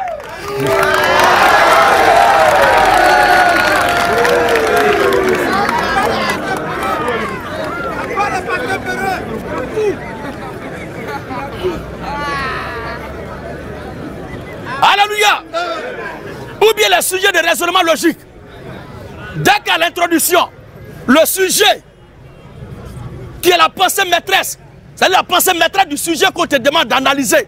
Si tu n'as pas compris tout ce que tu développes là, tu es en train de dire ce que toi tu penses. Tu ne parles plus selon l'auteur. C'est comme les pensées philosophiques. C'est la même chose aussi comme dans le domaine de la foi. Si tu n'as pas compris, dès le départ, la fin là c'est le chaos. Si dès le départ ce que tu as reçu n'est pas la vérité, le baptême que tu reçois ne peut pas te donner la vie éternelle. De facto, tu ne peux pas aller au ciel. Alors la Bible dit, Et Paul dit, et Paul dit, Jean baptisé du baptême de repentance, j'ai baptisé repentance, baptême de repentance, disant au peuple de croire celui qui venait après lui, aussi simple, c'est-à-dire Jésus. c'est-à-dire à Jésus. Sur ces paroles, Sur ces paroles, il fut baptisé. est-ce qu'ils ont fait coup de baptême? C'est Charlotte. Est-ce qu'ils ont fait coup de baptême? Est-ce qu'ils ont composé là là? Il n'y a rien eu. La Bible dit sur ces paroles-là, sur ces Il paroles-là, fut baptisé il fut baptisé au nom du Seigneur Jésus-Christ. au nom du Seigneur. Jésus. Science ténante. Sur ces paroles, il fut baptisé au nom du Seigneur Jésus-Christ. Il n'y a pas eu de transition. La seule transition qui est là, c'est de passer la mort à la mort à la vie éternelle. De passer au monde éphémère pour aller à l'éternité. De passer au paganisme à la chrétienté. Voici qui est clair. De passer de la mortalité à l'immortalité. En prenant l'eau du baptême. Au nom du Seigneur Jésus-Christ. Donc voici qui est clair. Il n'y a pas deux baptêmes, il n'y a pas trois baptêmes. Mais aussi longtemps que tu n'as pas reçu l'authentique et le vrai baptême, tout ce que tu reçois ne compte pas devant Dieu. Est-ce que c'est bon? Maintenant, pour répondre à ta question. Dans ce que je vais dire, ce n'est pas pour offenser une femme, ni pour blesser qui que ce soit. Parce que moi-même, je suis issu d'une telle union aussi.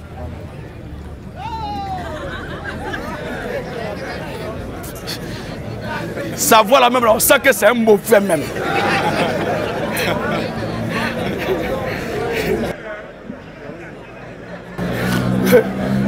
Vous êtes trop immature. Alléluia. La femme, celui devant qui elle s'est déshabillée pour la toute première fois, c'est avec lui qu'elle doit rester jusqu'à la fin de ses jours. Je ne parle pas des violeurs.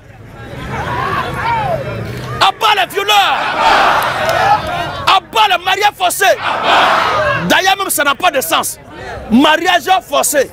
Ce sont eux qui chantent que le mariage est basé sur l'amour entre deux personnes par consentement. Comment quelque chose qui est basé sur l'amour entre deux personnes par consentement peut être forcé? Vous dites mariage forcé. Le mariage ne peut pas être forcé, c'est le viol qui est forcé. Le mariage, c'est par amour. Dès que c'est forcé, ce n'est plus mariage, mais c'est viol. C'est du brigandage et du prise en otage. À bas les preneurs d'otages. À bas les djihadistes sexuels. À bas les terroristes sexuels. Et la gloire.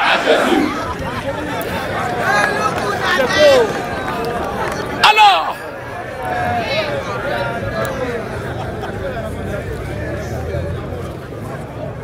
ce que je viens de dire, c'est ce que la Bible a dit. La femme doit garder sa virginité jusqu'à son homme avec qui elle doit rester pour la vie. C'est pourquoi ce n'est pas un acte opposé n'importe comment. Avant de le poser, il faut bien réfléchir. Il faut savoir celui à qui tu dois te donner. Est-ce que tu es convaincu que c'est pour la mort? Dit c'est jusqu'à ce que la mort vous sépare. Si ce n'est pas le cas, il faut t'abstenir. Parce qu'on ne fait pas d'essai. On ne fait pas d'essai. Comme il dit avant que l'homme ne prenne la femme, il doit aller avec elle d'abord pour être sûr. D'autres disent, oh, je dis, on dit, on a qu'à essayer toutes les femmes. Mais entre nous, quand toi tu vas au marché là, et qu'on te dit, habit que tu dois acheter, il faut essayer là. Est-ce ça dit que tu vas aller parmi les habits des nourrissons pour essayer habit là-bas? Quand toi-même tu te regardes là, habit qui doit te rentrer, tu ne sais pas.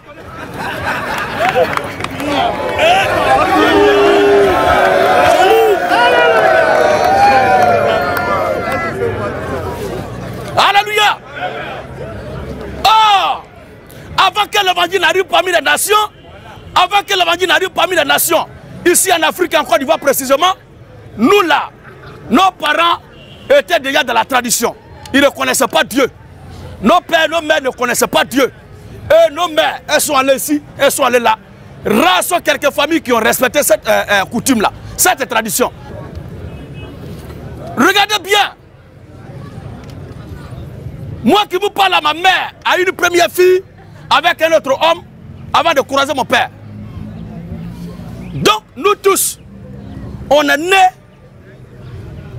en tout cas pas nous tous, mais la majorité est née dans ce à peu près. Parce que nos mères ne sont pas restées avec leur premier homme. Avant de croiser nos pères, elles étaient déjà femmes. Elles ont quitté le stade de filles, c'est-à-dire les vierges.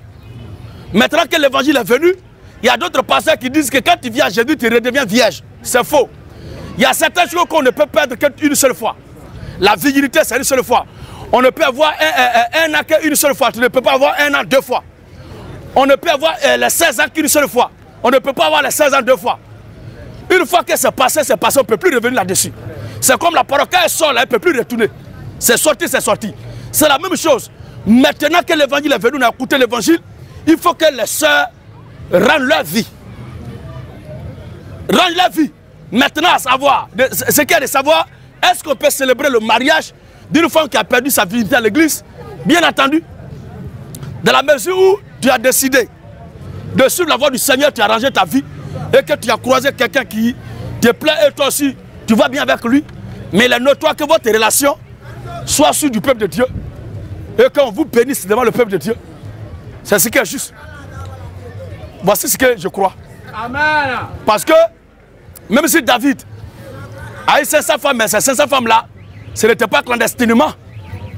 Salomon a eu euh, 300 femmes et 700 concubines, c'est mentionné dans la Bible. C'est parce qu'elles étaient connues que l'Écriture a détenu ça. Abraham avait pris Agar.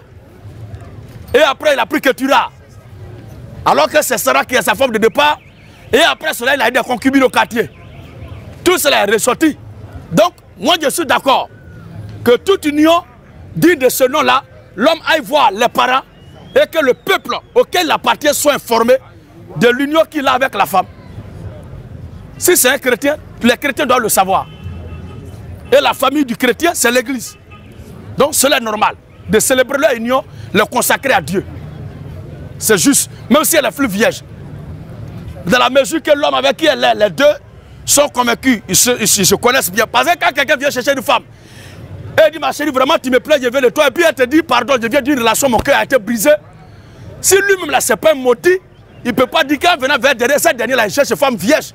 Elle te dit qu'elle vient d'une relation, son cœur a été brisé. Et puis toi tu dis, je ne l'ai pas trouvé de vierge. Maudit à promas.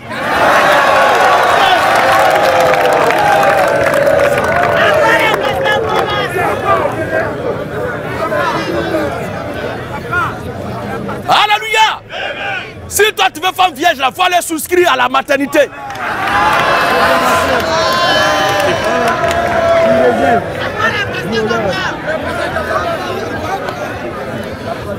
La troisième question, commandant, David n'a qu'à amplifier sa voix. Je disais comme ça que on dit le baptême c'est pour la sanctification. On renaît de nouveau. Après le baptême, si tu vas avec un homme qui n'est pas ton mari, est-ce que le baptême est toujours respecté ou pas? Après ton baptême, puisque le baptême c'est le renouveau, c'est la sanctification. Donc après le baptême d'une femme, est-ce qu'elle peut aller avec un homme? Alléluia. Si n'est pas son mari, c'est un copain. Est-ce qu'elle peut aller Alléluia. Mais pourquoi aller avec un homme qui n'est pas son mari? Alléluia. D'ailleurs, c'est très mauvais pour une femme de se livrer à quelqu'un avec qui elle n'est pas en couple. C'est quoi l'intention? Pourquoi aller avec quelqu'un qui n'est pas son mari? Moi, en tout cas, ce que la Bible n'a pas conseillé et que nos pères n'ont pas prêché, moi, je ne peux pas enseigner ça. La femme doit rester chaste. Si elle est dans le foyer, elle doit rester avec son mari seul. Au cas où elle veut avoir une relation, c'est qu'elle doit être sûre que c'est pour aller se marier. Dans le cas contraire, qu'elle reste dans son coin. Je n'ai pas de réponse à cette question-là. Parce que le toutouillard n'a pas sa place à l'église. Maintenant, en ce qui concerne, Alléluia, en ce qui concerne, si après son baptême elle pose un tel acte, est-ce que le baptême est toujours valable? Pour ce que je sais et que la Bible a dit, dans l'écriture, euh, proverbe, sept fois, le juste tombe. Sachez très bien que la femme aussi est un être humain. Même si elle est chrétienne, quel que soit son degré de spiritualité, ce n'est pas le fait d'aller avec un garçon là qui est le plus grand péché. Parce que péché, c'est péché. S'il arrivait qu'à trébuche, oui frère, Proverbe 24, 16. l'écriture dit dans Proverbe 24, verset 16, l'écriture dit dans Proverbe 24, verset 16, Car cette fois, sept fois, le juste tombe. il peut arriver qu'elle est juste. C'est une fille de Dieu. Elle peut tomber. Mais la Bible dit sept fois le juste tombe. Et il se relève. Ça ne veut pas dire qu'elle doit aller faire des bêtises. Mais s'il arrivait qu'elle trébuche et qu'elle tombe, la Bible dit sept fois le juste tombe, il se relève. Même si elle est une fille de Dieu, c'est un être humain avant tout. Il peut lui arriver de trébucher. Mais cela n'annule pas sa nature de fille de Dieu. Voilà. Seulement, nous ne conseillons pas nos soeurs d'aller faire du djandouya. Le toutouya n'est pas le travail d'une fille de Dieu. Si tu dois, avec- dois aller avec quelqu'un, c'est que vous êtes accordé de vous mettre ensemble. Merci.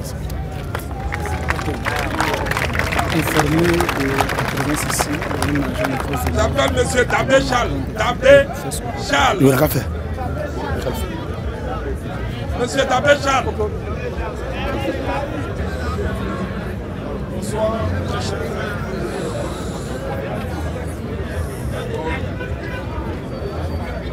Je vous remercie déjà de nous avoir donné la parole. Alors j'ai trois questions. Non, tu ne dois pas plus bien savoir. C'est un garçon avant tout. J'ai trois questions. La première question, on va d'abord lire Exode chapitre 3, le verset 1 à 5. Exode chapitre 3, 1 à 5.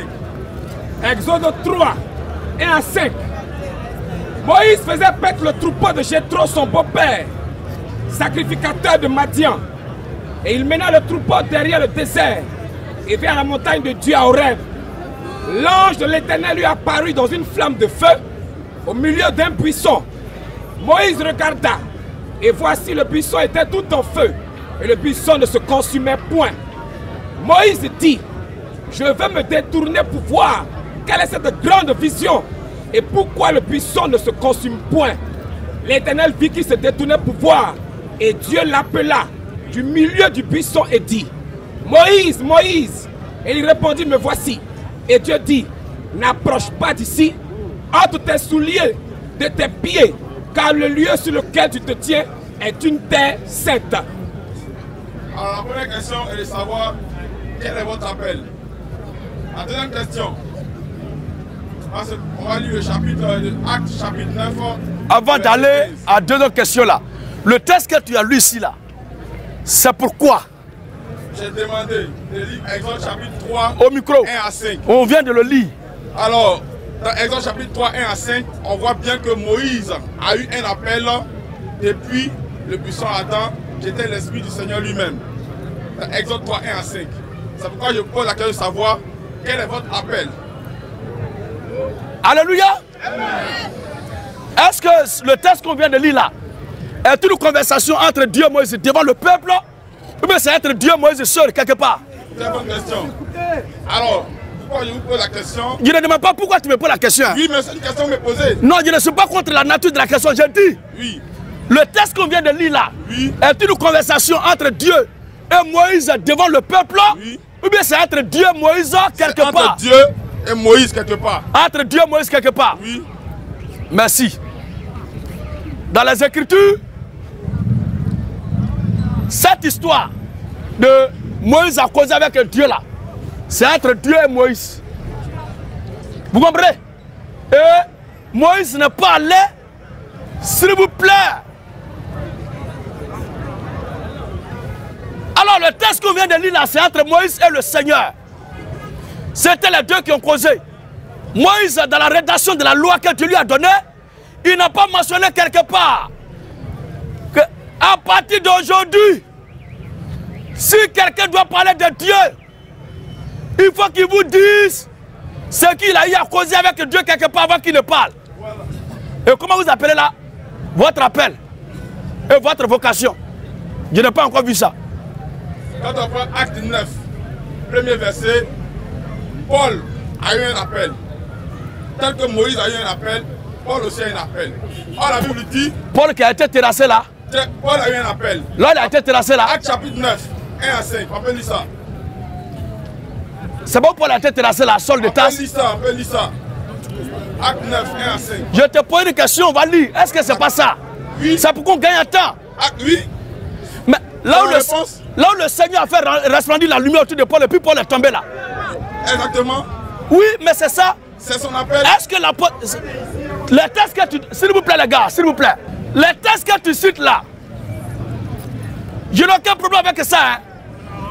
Je dis, aucun serviteur de Dieu, après son croisement ou sa croisade, sa rencontre avec Dieu, dans ce que Dieu lui a dit là, il n'a pas été dit à un serviteur de Dieu d'instaurer ça comme une doctrine afin que quiconque parla de Dieu puisse dire voici mon appel, voici ma commission.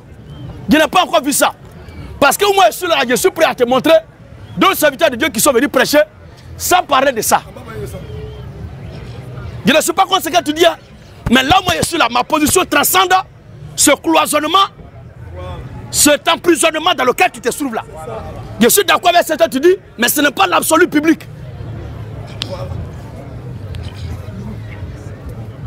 Comme tu dis que tu es d'accord, on va passer à la deuxième question. Pas que je dis que je suis d'accord, mais je dis, dans la Bible là, regarde par exemple, dans Jean 3,16 par exemple, voici, Jean 3,16. voici l'absolu, Car Dieu voici l'impératif.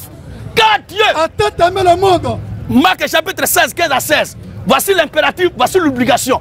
Voici ce qui est irréfutable, incontournable, ce qui est factuel, ce qui est formel, ce qui est évident. Oui. Jean 3, 16. Hein. Quand Dieu a tant aimé le monde, Quand Dieu a tant aimé le il a monde, donné son Fils unique, qu'il a donné son Fils unique, afin que quiconque croit en lui afin que quiconque croit en lui ne périsse point, ne périsse point. mais qu'il ait la vie éternelle. C'est une obligation, une exigence incontournable pour quiconque vient avoir la vie éternelle de croire au Seigneur Jésus-Christ. Maintenant, l'ordre de mission donné.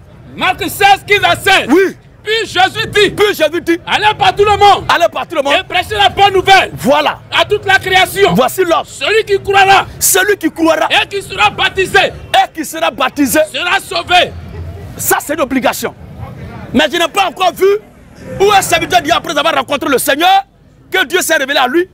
Où il a dit que quand tu vas partir là, il faut désormais instaurer afin que, avant que quelqu'un ne parle de Dieu, avant que quelqu'un ne parle de moi, le Seigneur, il faut qu'il dise au peuple où moi et lui on s'est croisés, ce que je lui aurais dit. Je n'ai pas encore vu ça. Pendant ce temps, ça existe, mais il y a d'autres aussi, ça n'a pas été leur cas. Parce que moi, je suis prêt à te fournir ça. Et moi, je suis d'accord avec les deux positions. Parce que je suis au milieu de la vérité. Alors, quand on prend le livre de Jacques chapitre 2, le verset 19, Jacques 2, 19, Nous lisons. la Bible dit que les démons aussi croient en Dieu. Or, or, quand on prend Jean 3, 16, l'absolu est de croire en Dieu avant la vie- afin d'avoir la vie éternelle. Les démons croient en Dieu. Jusqu'à même ils tremblent. Est-ce qu'ils ont la vie éternelle? Merci, frère. Il y a une compréhension qui t'échappe dans ce que tu as cité dans les deux tests. Parce que, s'il vous plaît, s'il vous plaît, s'il vous plaît, s'il vous plaît, les deux tests que tu as cités, s'il vous plaît, les deux tests que tu as cités, il y a un facteur qui parle de l'attribut, de l'appellation, et il y a un autre test qui parle de l'identité propre. L'identité propre est le nom. Parce que le nom est ce qui dévoile, ce, ce qui révèle, ce qui est très important, par laquelle on identifie un être ou une personne. Dans Jean 3,16 là, c'est Jésus-Christ qu'on doit croire. Amen. Amen. Parce que c'est lui, le Dieu véritable et la vie éternelle. Dans Jacques, il a dit, tu crois en Dieu. Croire en Dieu ne se donne pas la vie éternelle. Tu comprends bien? Croire en Dieu est vague. Mais la révélation de qui est Dieu là, c'est ça qui sauve. Oh, c'est Jésus-Christ qui est, qui est Dieu. Donc Jean 3 avec Jacques là, c'est pas la même chose. Il y a un, un texte qui parle de l'attribut et il y a un autre qui parle de l'identité. Ça peut te faire rire, mais c'est ce qui est juste.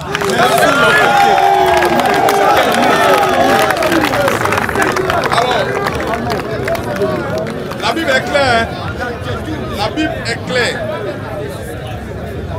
Selon les Saintes Écritures, selon les Saintes Écritures, Dieu veut dire objet d'ad- Dieu, Dieu c'est tout ce qu'on adore. Selon 2 Thessaloniciens 2, Dieu tout ce qu'on adore. Et la Bible dit que c'est ce Dieu-là, celui qui est le Dieu véritable, selon 1 Jean 5 ans, c'est celui qui est Jésus-Christ. C'est ce qu'il vient de dire. D'accord.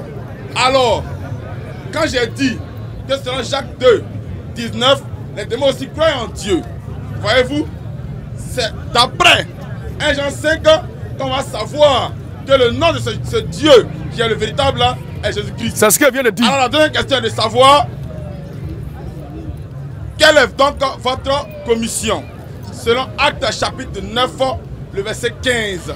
Dans Acte 9, verset 15 là, il n'a pas été instauré là-bas que tout serviteur de Dieu qui doit parler doit parler de sa commission. La preuve, la preuve, on va le lire. Acte 9, 15. On va lire ça.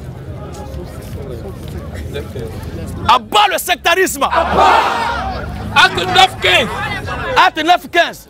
Mais le Seigneur lui dit Le Seigneur lui dit Va, Va. car cet homme Cet homme, est un instrument que j'ai choisi. d'ailleurs, même, ce n'est pas à Paul qui lui dit cela. C'est à quelqu'un d'autre que le Seigneur dit ça. Du nom d'Anania. C'est à Ananias que le Seigneur dit ça. Va, cet homme-là est un instrument que j'ai choisi. Pour porter mon nom. Si c'est ça là, qui est commission, si c'est ça qui est commission l'appel, je suis au regret, frère. Parce que où je suis là, là, je ne me promène pas pour parler de ce que j'aurais vécu comme expérience personnelle. Parce que tout compte fait, tout compte fait, à la fin de tout ce qu'on va dire, la question qui reviendra, qui doit nous conduire à l'éternité, c'est il est écrit où? Si moi je te dis aujourd'hui, Alléluia, si moi je te dis aujourd'hui, qu'en 90 ou bien en 89, il y a eu telle apparition, j'étais dans tel endroit, tel endroit, et le Seigneur m'a dit telle chose, telle chose. Tu es témoin de ça? C'est votre appel. C'est mon appel. Oh, moi, mon appel là, il n'a pas dit Dieu a tant aimé le monde qu'il a donné son fils unique, afin que quiconque a un appel ait la vie éternelle, ou bien qui croit, quiconque a un appel ait la vie éternelle. Mais la Ouais. condition, sine qua non. Alléluia. Le critérium nécessaire auquel il faut croire pour avoir la vie éternelle, c'est de croire au Seigneur. Frère, pour ne pas qu'on se fatigue, pour ne pas qu'on se fatigue, j'arrive. Pour ne pas qu'on se fatigue, l'écriture, l'écriture est apparue à partir de Moïse. L'écriture biblique. L'écriture biblique là est apparue à partir de Moïse. C'est quoi quand les écritures nous témoignent toujours la Bible dit commençant par Moïse, commençant par Moïse, commençant par Moïse, il leur a démontré, attends, attends, attends. Lisons euh, Luc 24, à partir du verset 30, 31, 33, 34, 36, 37.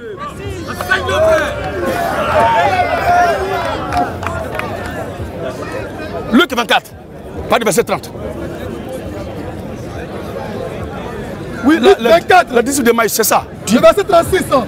Comment ce verset 30 Le verset 30. hein. Alléluia. S'il vous plaît, écoutons ensemble. Après la résurrection du Seigneur Jésus-Christ, après sa crucifixion et sa résurrection, il est apparu un groupe qui était en train de causer.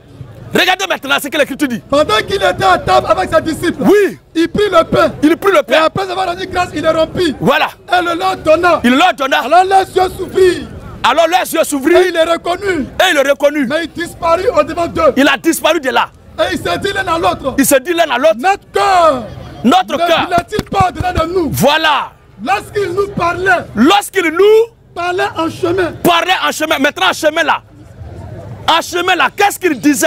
On va remonter maintenant pour voir ce qu'il se disait en chemin. Le verset 26. Le verset 26 maintenant. Alors Jésus dit Alors je vous dis, Oh homme, oh homme, sans intelligence, sans- s'il vous plaît les gars, s'il vous plaît. Oh homme sans intelligence. Et dans le cœur est là à croire. et dans le cœur là à croire. Tout ce qu'ont dit les prophètes, tout ce qu'on dit là, prophètes, tout ce qu'on dit là, prophètes, prophète, ne fallait-il pas ne fallait-il pas que le Christ souffrit ces choses Voilà, et qu'il entra dans sa gloire et qu'il entra dans sa gloire, Et commençant par Moïse, commençant par Moïse. Moïse. et par tous les prophètes, Vous voyez?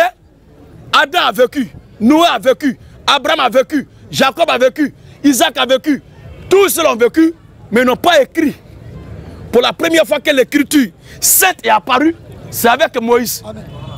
Mais, à l'époque où Dieu parlait à Noé, pour venir faire le bateau là, il n'y avait pas d'écriture.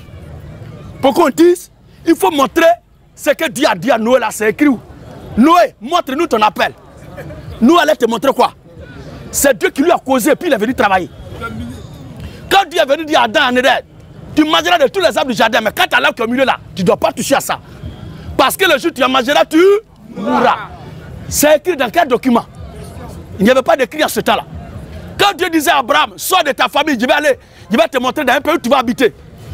Il n'y avait quel écrit? C'est lui qui demandait à Moïse de montrer ça. Il n'y avait pas. Maintenant, en pleine écriture même, en pleine écriture, si où Dieu là, il te demande de me montrer l'appel de Job, est-ce que tu peux me montrer Et sa vocation? C'est quoi? Sa souffrance avec les lèpres là? Il sait malin? Si il te demandait de me montrer l'appel et la vocation de Simon Pierre, tu vas me trouver quoi? L'appel de, de- de Matthieu, l'appel de Jean, tu vas me montrer quoi? Alors, moi, je ne suis pas contre ce que tu es en train de dire. Il y a des serviteurs de Dieu à qui Dieu a parlé, du travail qu'ils doivent aller faire, c'est écrit. Mais il y a beaucoup aussi à qui Dieu a parlé d'aller travailler, mais ce n'est pas écrit. Seulement, les deux groupes là, ce qui les lit, ce qui les met ensemble, c'est que l'un et l'autre ne se contredisent pas sur le principe de l'écriture qui est déjà là. Entre toi et moi là, ce qui doit se marier ce soir être un objet de contradiction, c'est que tu dois démontrer que je développe telle doctrine de la Bible qui n'a pas de fondement. Et non pas ma causerie que j'aurais eu avec Dieu. Ça va sauver qui ici?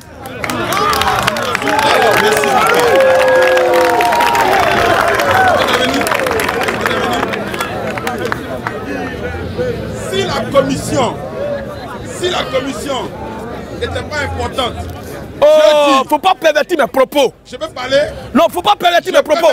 Je vais te laisser t'exprimer. Oui, effectivement. Ok. Mais seulement ce que tu es peux en train de dire, m'exprimer, oui ou non? ce n'est pas ce qu'il a dit. Je peux m'exprimer oui ou non? Tu vas t'exprimer parce, parce que tu es en train de dire là. Je peux m'exprimer. Dans ce qu'il a dit là, je n'ai pas dit la commission n'était pas importante. hein. Vous dites que vous dites que la commission ne peut pas sauver le peuple de Dieu. Vrai ou faux? Alors, si la commission ne peut pas sauver le peuple de Dieu, nous allons lire les Écritures. La Bible est claire. Quand Dieu appelle Moïse dans, Exode 3, 4, Exode 3, 1 à 5, il lui donne une commission, il dit Va pour faire sortir mon peuple afin qu'ils aillent m'adorer. Et je vais les envoyer à Canaan. Donc il va les sauver de la servitude. C'est sa commission. Quand Dieu va appeler Esaïe, dans Esaïe chapitre 6, il va lui dire, je vais faire de ta bouche ma bouche, afin que tu fasses sauver mon peuple. Esaïe 6, 1 à 9. Après c'est le au verset 8. Comprenez? Quand il va prendre, il va prendre Pierre, dans Galates 2, 8, 9, si la commission n'était pas importante, il dit, toi Pierre, je te fais donc pour que tu ailles parler aux circoncis. Aux circoncis. Appelle ça. Je peux... Non, a le test à tête, je vais te dire ce qui est dit. Attendez. Et tu vas continuer. C'est l'apôtre Paul. Il a dit, appelle Et- ça. écoute, tu vas te dire, ça on va avancer. Appelle-lui. Tu vas nous prendre le temps. C'est l'apôtre Paul qui dit, c'est lui qui a fait de pierre. Il faut écouter. il. Pourquoi ça te fait mal même? Toi-même, tu dis, tu peux te tromper. Je te dis, oui, tu t'es trompé. Je vais te dire ce qui est écrit. On va avancer. Il n'y a pas à être frustré dans ça. Suis pas frustré. Alléluia. C'est l'apôtre Paul qui a dit, celui qui a fait de Pierre apôtre des circoncis, a fait de moi apôtre des incirconcis. Alors- Sinon, dans Galate, Pierre n'a jamais parlé là-bas. Si, non, je n'ai pas dit Pierre a parlé. C'était très bien. Vraiment très bien. Si la commission n'était pas importante, il ne va utiliser Pierre pour aller sauver le peuple juif. Et utiliser Paul pour sauver les nations. Donc la commission de Paul, selon acte 13, 46, 47, est de sauver les nations parce qu'il est la lumière des nations. C'est sa commission. C'est important. Alors votre commission, c'est-à-dire pourquoi Dieu vous envoie, par exemple, à Divo? Je vais, te, je vais te comprendre. hein. Euh, euh, Paul va sauver qui? Vous dites quoi? Paul doit sauver qui? Paul pour l'église des nations. Paul doit sauver qui? Les nations. Paul doit sauver les nations. Il y a combien de sauveurs? Vous dites quoi? Il y a combien de sauveurs? Pour les nations, il prend l'apôtre Paul. Non. Je veux que tu assumes la légitimité de tes propos. D'accord. Tu as, Alors, dit tout à dit- tu as dit tout à l'heure, Oui, il a fait de Pierre apôtre des Juifs oui, et il a fait de Paul sauveur des nations. oui. Est-ce que tu assumes la paternité de ces propos? Et je vais le demander par les Écritures.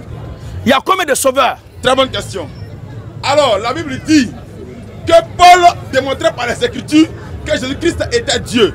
Donc, Paul ne vient pas en tant que lui-même sauveur, mais il présente Christ au peuple des nations pour que Christ les sauve. Il y a combien de sauveurs Paul en tant que sauveur. Il y a combien de sauveurs Donc, c'est la profondeur que vous devez écouter. Il y a combien de Il y a sauveurs un seul sauveur qui est Jésus-Christ. Un seul sauveur qui est- 4:13. Oui. Dont Jésus-Christ. l'apôtre Paul en aucun moment n'a été sauvé de qui que ce soit.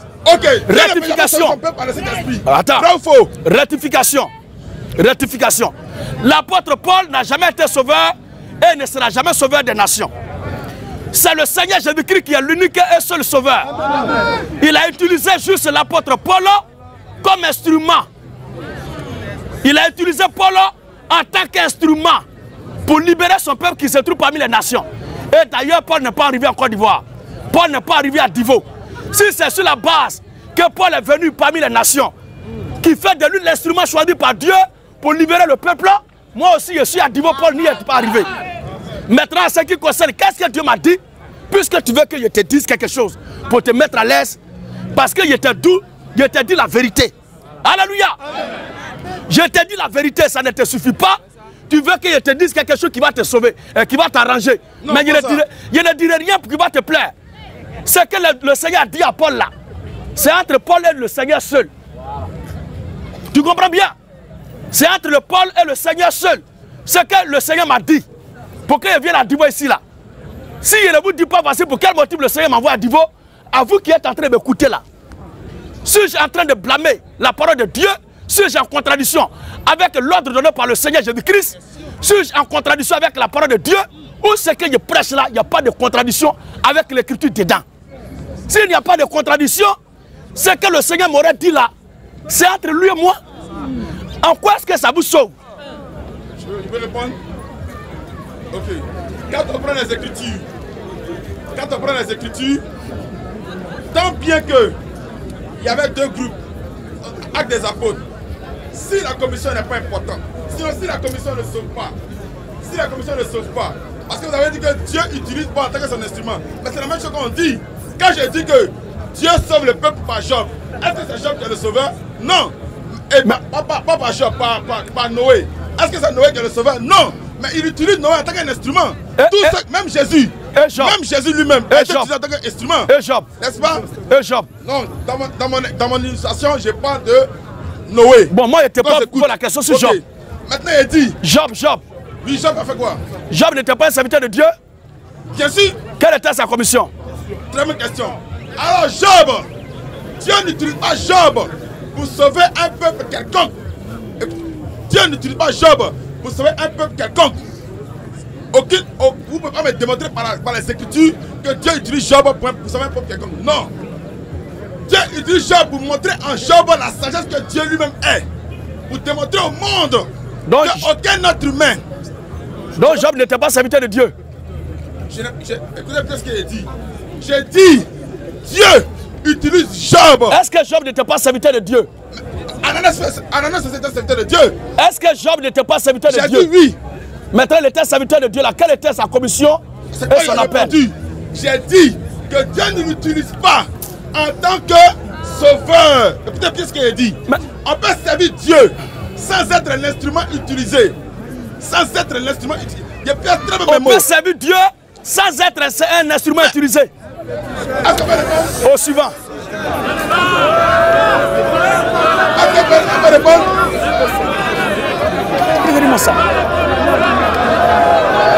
S'il vous plaît, nous sommes venus ici là.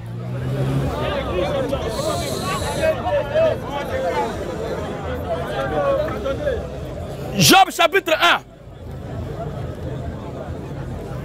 Pas parce que j'ai vu ce qu'il dit, hein, mais je ne peux pas perdre mon temps pour quelque chose qui n'est pas censé. On peut servir Dieu sans être un instrument. Dans la main de Dieu, ça veut dire quoi? Job 1. Job 1, à verset 1. Il y avait dans le pays de Us, Écoutons très bien. il y avait dans le pays d'Us un homme qui s'appelait Job. Un homme qui s'appelait Job. Et cet homme était intègre droit. Il était intègre droit. Il criait Dieu C'est de Job, il parle comme ça. Et se détournant du mal. Il s'est détourné du mal. Il lui naquit sept fils et trois filles. Le verset 6 maintenant. Oh les fils de Dieu, Oh, les fils de Dieu, 20 jours se présentaient devant l'éternel. 20 jours se présentaient devant l'éternel. Et Satan vint aussi au milieu d'eux. Satan, écoutez lui, écoutez vous-même. Écoutez vous-même le témoignage de Dieu. Euh, S'il vous plaît, les gars. Celui qui veut écouter ces conneries-là, qui se retire avec lui. Allez-y avec lui, il va vous parler de ça. Moi, je n'ai pas le temps pour écouter des bêtises comme ça. Oui, frère. L'éternel dit à Satan, L'éternel dit à Satan, d'où viens-tu? D'où viens-tu? Et Satan répondit à l'éternel, Satan répondit à l'éternel, de parcourir la terre de m'y promener. je viens de parcourir la terre de m'y promener. L'éternel dit à Satan, L'éternel dit à Satan, as-tu remarqué mon serviteur Job? L'éternel dit quoi à Satan? As-tu remarqué mon serviteur Job? L'éternel dit à Satan, as-tu Ah. remarqué? Mon serviteur Job Mon serviteur, c'est de Job, lui parle comme ça là.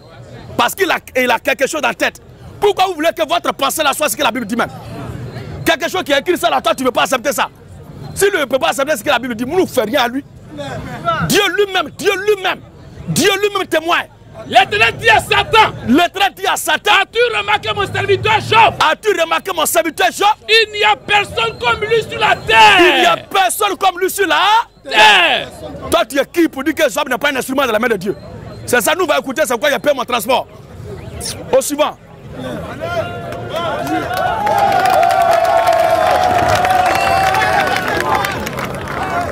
J'appelle monsieur, t'appelais Luc.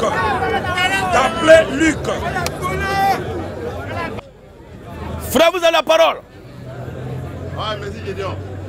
Ok. Juste euh, posé une seule question. Puis bon, la question S'il vous c'est- plaît, c'est- pardon frère. S'il vous plaît les gars, peut-être que le monsieur qui était là, assurément vous pensez qu'il dit, il dit quelque chose de sensé, vous comprenez bien, vous maîtrisez le sujet dont il veut parler. Vous pouvez aller lui dire bien les choses pour qu'il puisse vraiment exprimer sa pensée. Vous comprenez? Et préparer les textes qui parlent de commission, commission là.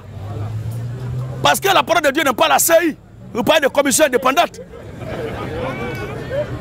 Alors, allez-y préparer bien vos pensées, vos questions, vos sujets, vos points de vue pour venir pour ne pas être ridicule ici. Oui, frère, vous avez la parole. Ok, merci. Je ne suis pas ouvert un débat, hein. je ne suis pas arrivé à là. Voilà. Mais je voulais savoir un peu, juste une question. Marc 16, 15 à 16. J'ai dit Marc 16, 15 à 16. C'est quoi la bonne nouvelle? Et dans le livre de Matthieu 6, verset 40, c'est quoi le Fils de Dieu? J'ai dit la première question. Marc 16, 15 à 16. Dieu dit allez et annoncer la bonne nouvelle. Celui qui va croire à la bonne nouvelle, il est sauvé. Celui qui ne croit pas à la bonne nouvelle, il est condamné. C'est quoi la bonne nouvelle Et de deux, dans le livre de Jean 6, verset 40, celui qui voit le Fils et croit à lui a la vie éternelle. Donc c'est quoi le Fils de Dieu? C'est qui le Fils de Dieu? Mais c'est quoi le Fils de le Dieu Fils de Dieu Mais le Fils de Dieu, c'est le Seigneur Celui qui le Jésus-Christ. voit et croit en lui. Or, pour le voir, pour croire en lui, il faut le voir. Donc, il dit, le fait de dire celui qui le voit et croit en lui, ça veut dire quoi? C'est ce qu'il veut savoir. Mais ça là, c'est simple. Il y a quel mystère là là? Le Fils de Dieu, c'est le Seigneur Jésus-Christ. Celui qui le voit, après avoir entendu ce qu'il a dit, qui croit en lui à la vie éternelle, c'est ce que ça veut dire? Maintenant, si ta question est de savoir où se trouve le Fils de Dieu, c'est ça que tu veux? Non. Pardon? Mais, le test là, où est ce qui est énigmatique dedans? La Bible dit de prêcher la bonne nouvelle à toute la création. Celui qui croirait, qui sera baptisé sera sauvé. La bonne nouvelle, c'est de voir le Fils de Dieu et de croire en lui. Le Fils de Dieu, c'est le Seigneur Jésus-Christ. C'est bon? Maintenant, comme lui-même, on ne peut pas le voir physiquement actuellement, avant de quitter la terre, il a dit. Luc 10, verset 16. Non, Luc il a dit- 10 ans. Jean chapitre 13, Non, le verset non. 20. 20. Non, non, c'est bon. Non, c'est bon. pas bon. Attends. Non, dit, il a pas posé la question? Pourquoi bon. vous ne voulez pas qu'on lise les Écritures? Non, il n'a pas dit de ne pas lire. Ok. C'est bon. C'est important 10, pour moi. va lire pour les autres, mais pour moi, c'est bon. D'accord. Lisons. Luc 10, 16. Luc 10. Ne cause pas lui, David. Awadji, il faut le laisser. Luc 10, 16. Puis Jésus dit, Puis vu dit, c'est lui qui vous écoute. il y a des gens qui sont dans un esprit sectaire. Le Seigneur Jésus-Christ, avant de quitter la terre physiquement, il s'est déchargé. Il a fait la procuration. Il a fait passation de charge. Il a transmis le pouvoir. Il a transmis la charge divine. Alors il dit, Et Jésus dit, Jésus dit, c'est lui qui vous écoute. celui qui vous écoute, M'écoute, il parle maintenant de ses disciples qu'il envoie. Il dit, celui qui vous écoute, m'écoute. m'écoute. Et celui qui vous rejette, Celui qui vous rejette, me rejette. me rejette. Alors, alors nous sommes là. Si quelqu'un dit lui, il veut croire en Jésus pour être sauvé, sans écouter ce qu'elle nous dit pour croire, il va aller en enfer. Ok. Comme je, je vous j'ai dit qu'il m'arrêtait là. Mais quand je vous écoute, c'est seulement parce que quand le Seigneur dit allez partout et annoncer la bonne nouvelle à toute la création, et que celui qui va à la bonne nouvelle est sauvé, mais celui qui ne croit pas est condamné. Et que, quelque part, en lisant la lu 1 Corinthiens 1, verset 23, où les serviteurs de Dieu disent nous prêchons Christ crucifié, et quand quelque part, par exemple, on dit pardon, vive la polygamie, ou bien vive la boisson. Voilà ce qui est dans mon sac. est-ce que cela fait partie de la bonne nouvelle? Est-ce que cela fait partie de la bonne nouvelle? Merci frère. Juste une question. Merci. Aucun homme sur cette terre, aussi soucieux d'avoir une bonne récolte, une bonne moisson, qu'il soit avec sa bonne volonté, ne peut pas arriver dans une forêt où il y a les lianes des arbres et va prendre ses semences de maïs, de blé, de sorgho, de riz et va commencer à jeter dans la forêt. Arriver là d'abord avant de semer là, tout ce qui est faux arbre, tout ce qui est mauvais herbe, il doit débroussailler, il doit détruire, il doit tout détruire et découper, découper, mettre le feu, incendier ça. Maintenant, si le terrain platonique et que la terre est nue maintenant, il va commencer à s'aimer. C'est la même chose. La bonne nouvelle était très simple. C'est de croire au Seigneur Jésus-Christ et on a la vie éternelle en se faire baptiser en son nom. Mais avant que cette bonne nouvelle ne soit prêchée, il y a des mauvaises sorties qui ont été prêchées. Qui disent si quelqu'un a deux femmes et qui croit Jésus ne peut pas être sauvé. Si quelqu'un a bu du vin et qui croit Seigneur Jésus ne peut pas être sauvé. Si quelqu'un se met en colère et qui croit Jésus ne peut pas être sauvé. Si quelqu'un est chrétien et puis voit dans ma qui ne va pas être sauvé. À cause de tout ça là, avant de dire qu'il faut croire en Jésus-Christ seulement, te faire baptiser, tu es sauvé, avant qu'on ne dise ça là, tout ce que les gens ont enseigné de faux qui est là, on doit s'attaquer à ça. Parce que Jésus n'a jamais dit que la polygamie, il ne faut, faut, pas pratiquer la polygamie. Jésus n'a jamais dit de ne pas boire. Jésus n'a jamais dit ce qu'ils enseignent là. Mais eux, ils ont instauré ça comme condition à remplir, les prescriptions à respecter avant d'avoir le salut. L'ordre donné par le Seigneur, c'est de croire en lui, on a la vie éternelle. Maintenant, si je crois en lui, si je cherche une femme en désordre, si l'alcool, si la drogue, si la cigarette ne lui plaît pas, tout naturellement entre le berger et la brebis, qui doit laver son ami.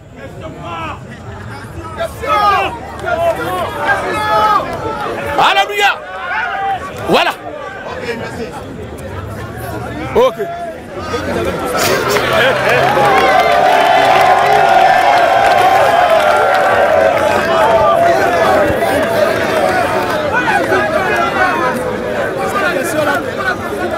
Voilà le fond.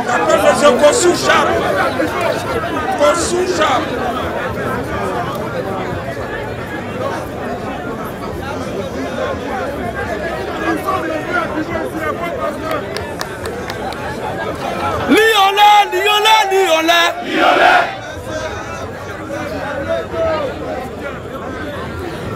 À part le pasteur Wadisbet. À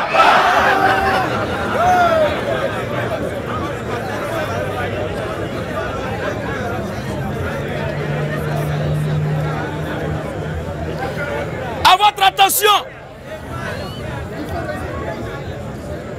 Nous sommes à dimanche jusqu'à dimanche. Et tous les frères et sœurs qui ont écouté l'évangile et qui sont en train d'écouter, qui veulent prendre le baptême, nous avons bâti, construit un temple au quartier, quartier Benoît, à Konakro. Voilà. Le dimanche, on va faire le culte là-bas à partir de 7h30. Et après le culte, tous les frères et sœurs qui veulent prendre le baptême, il n'y a pas 5 francs à payer. On va aller vous baptiser. On va aller vous baptiser dimanche après le culte. On va aller vous baptiser. Alors nous sommes là.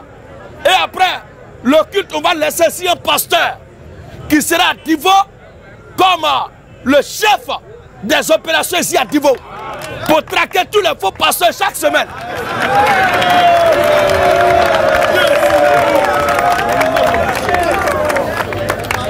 Alléluia. Il y a, il y des pasteurs, s'il vous plaît, s'il vous plaît. Il y a des pasteurs et des prêtres. Il y a des pasteurs et des prêtres, des faux pasteurs. Ces faux hommes de Dieu là, qui se disent dans leur cœur, oh, je Dieu dit, il est venu pour une semaine, après une semaine, il s'en va. Vous vous trompez, hein, il y a des gens qui vont rester ici. Ils seront dans vos sangs chaque semaine.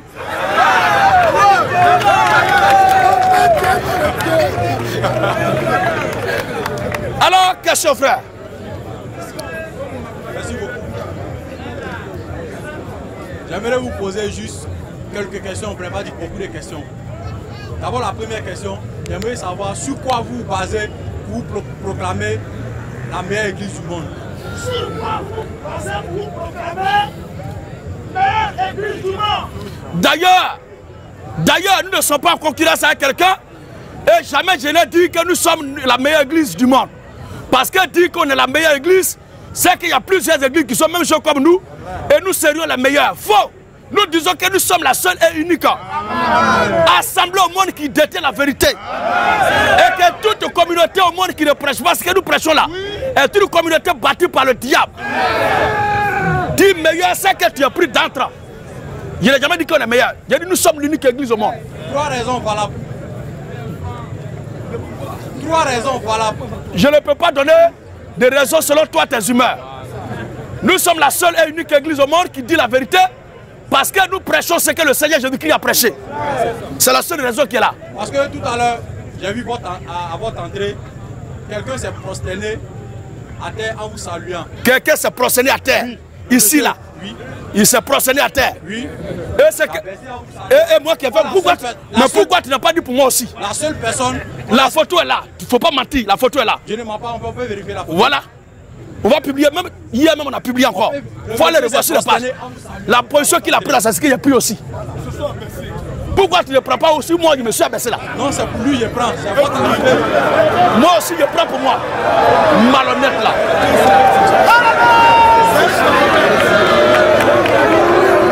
Fils du diable.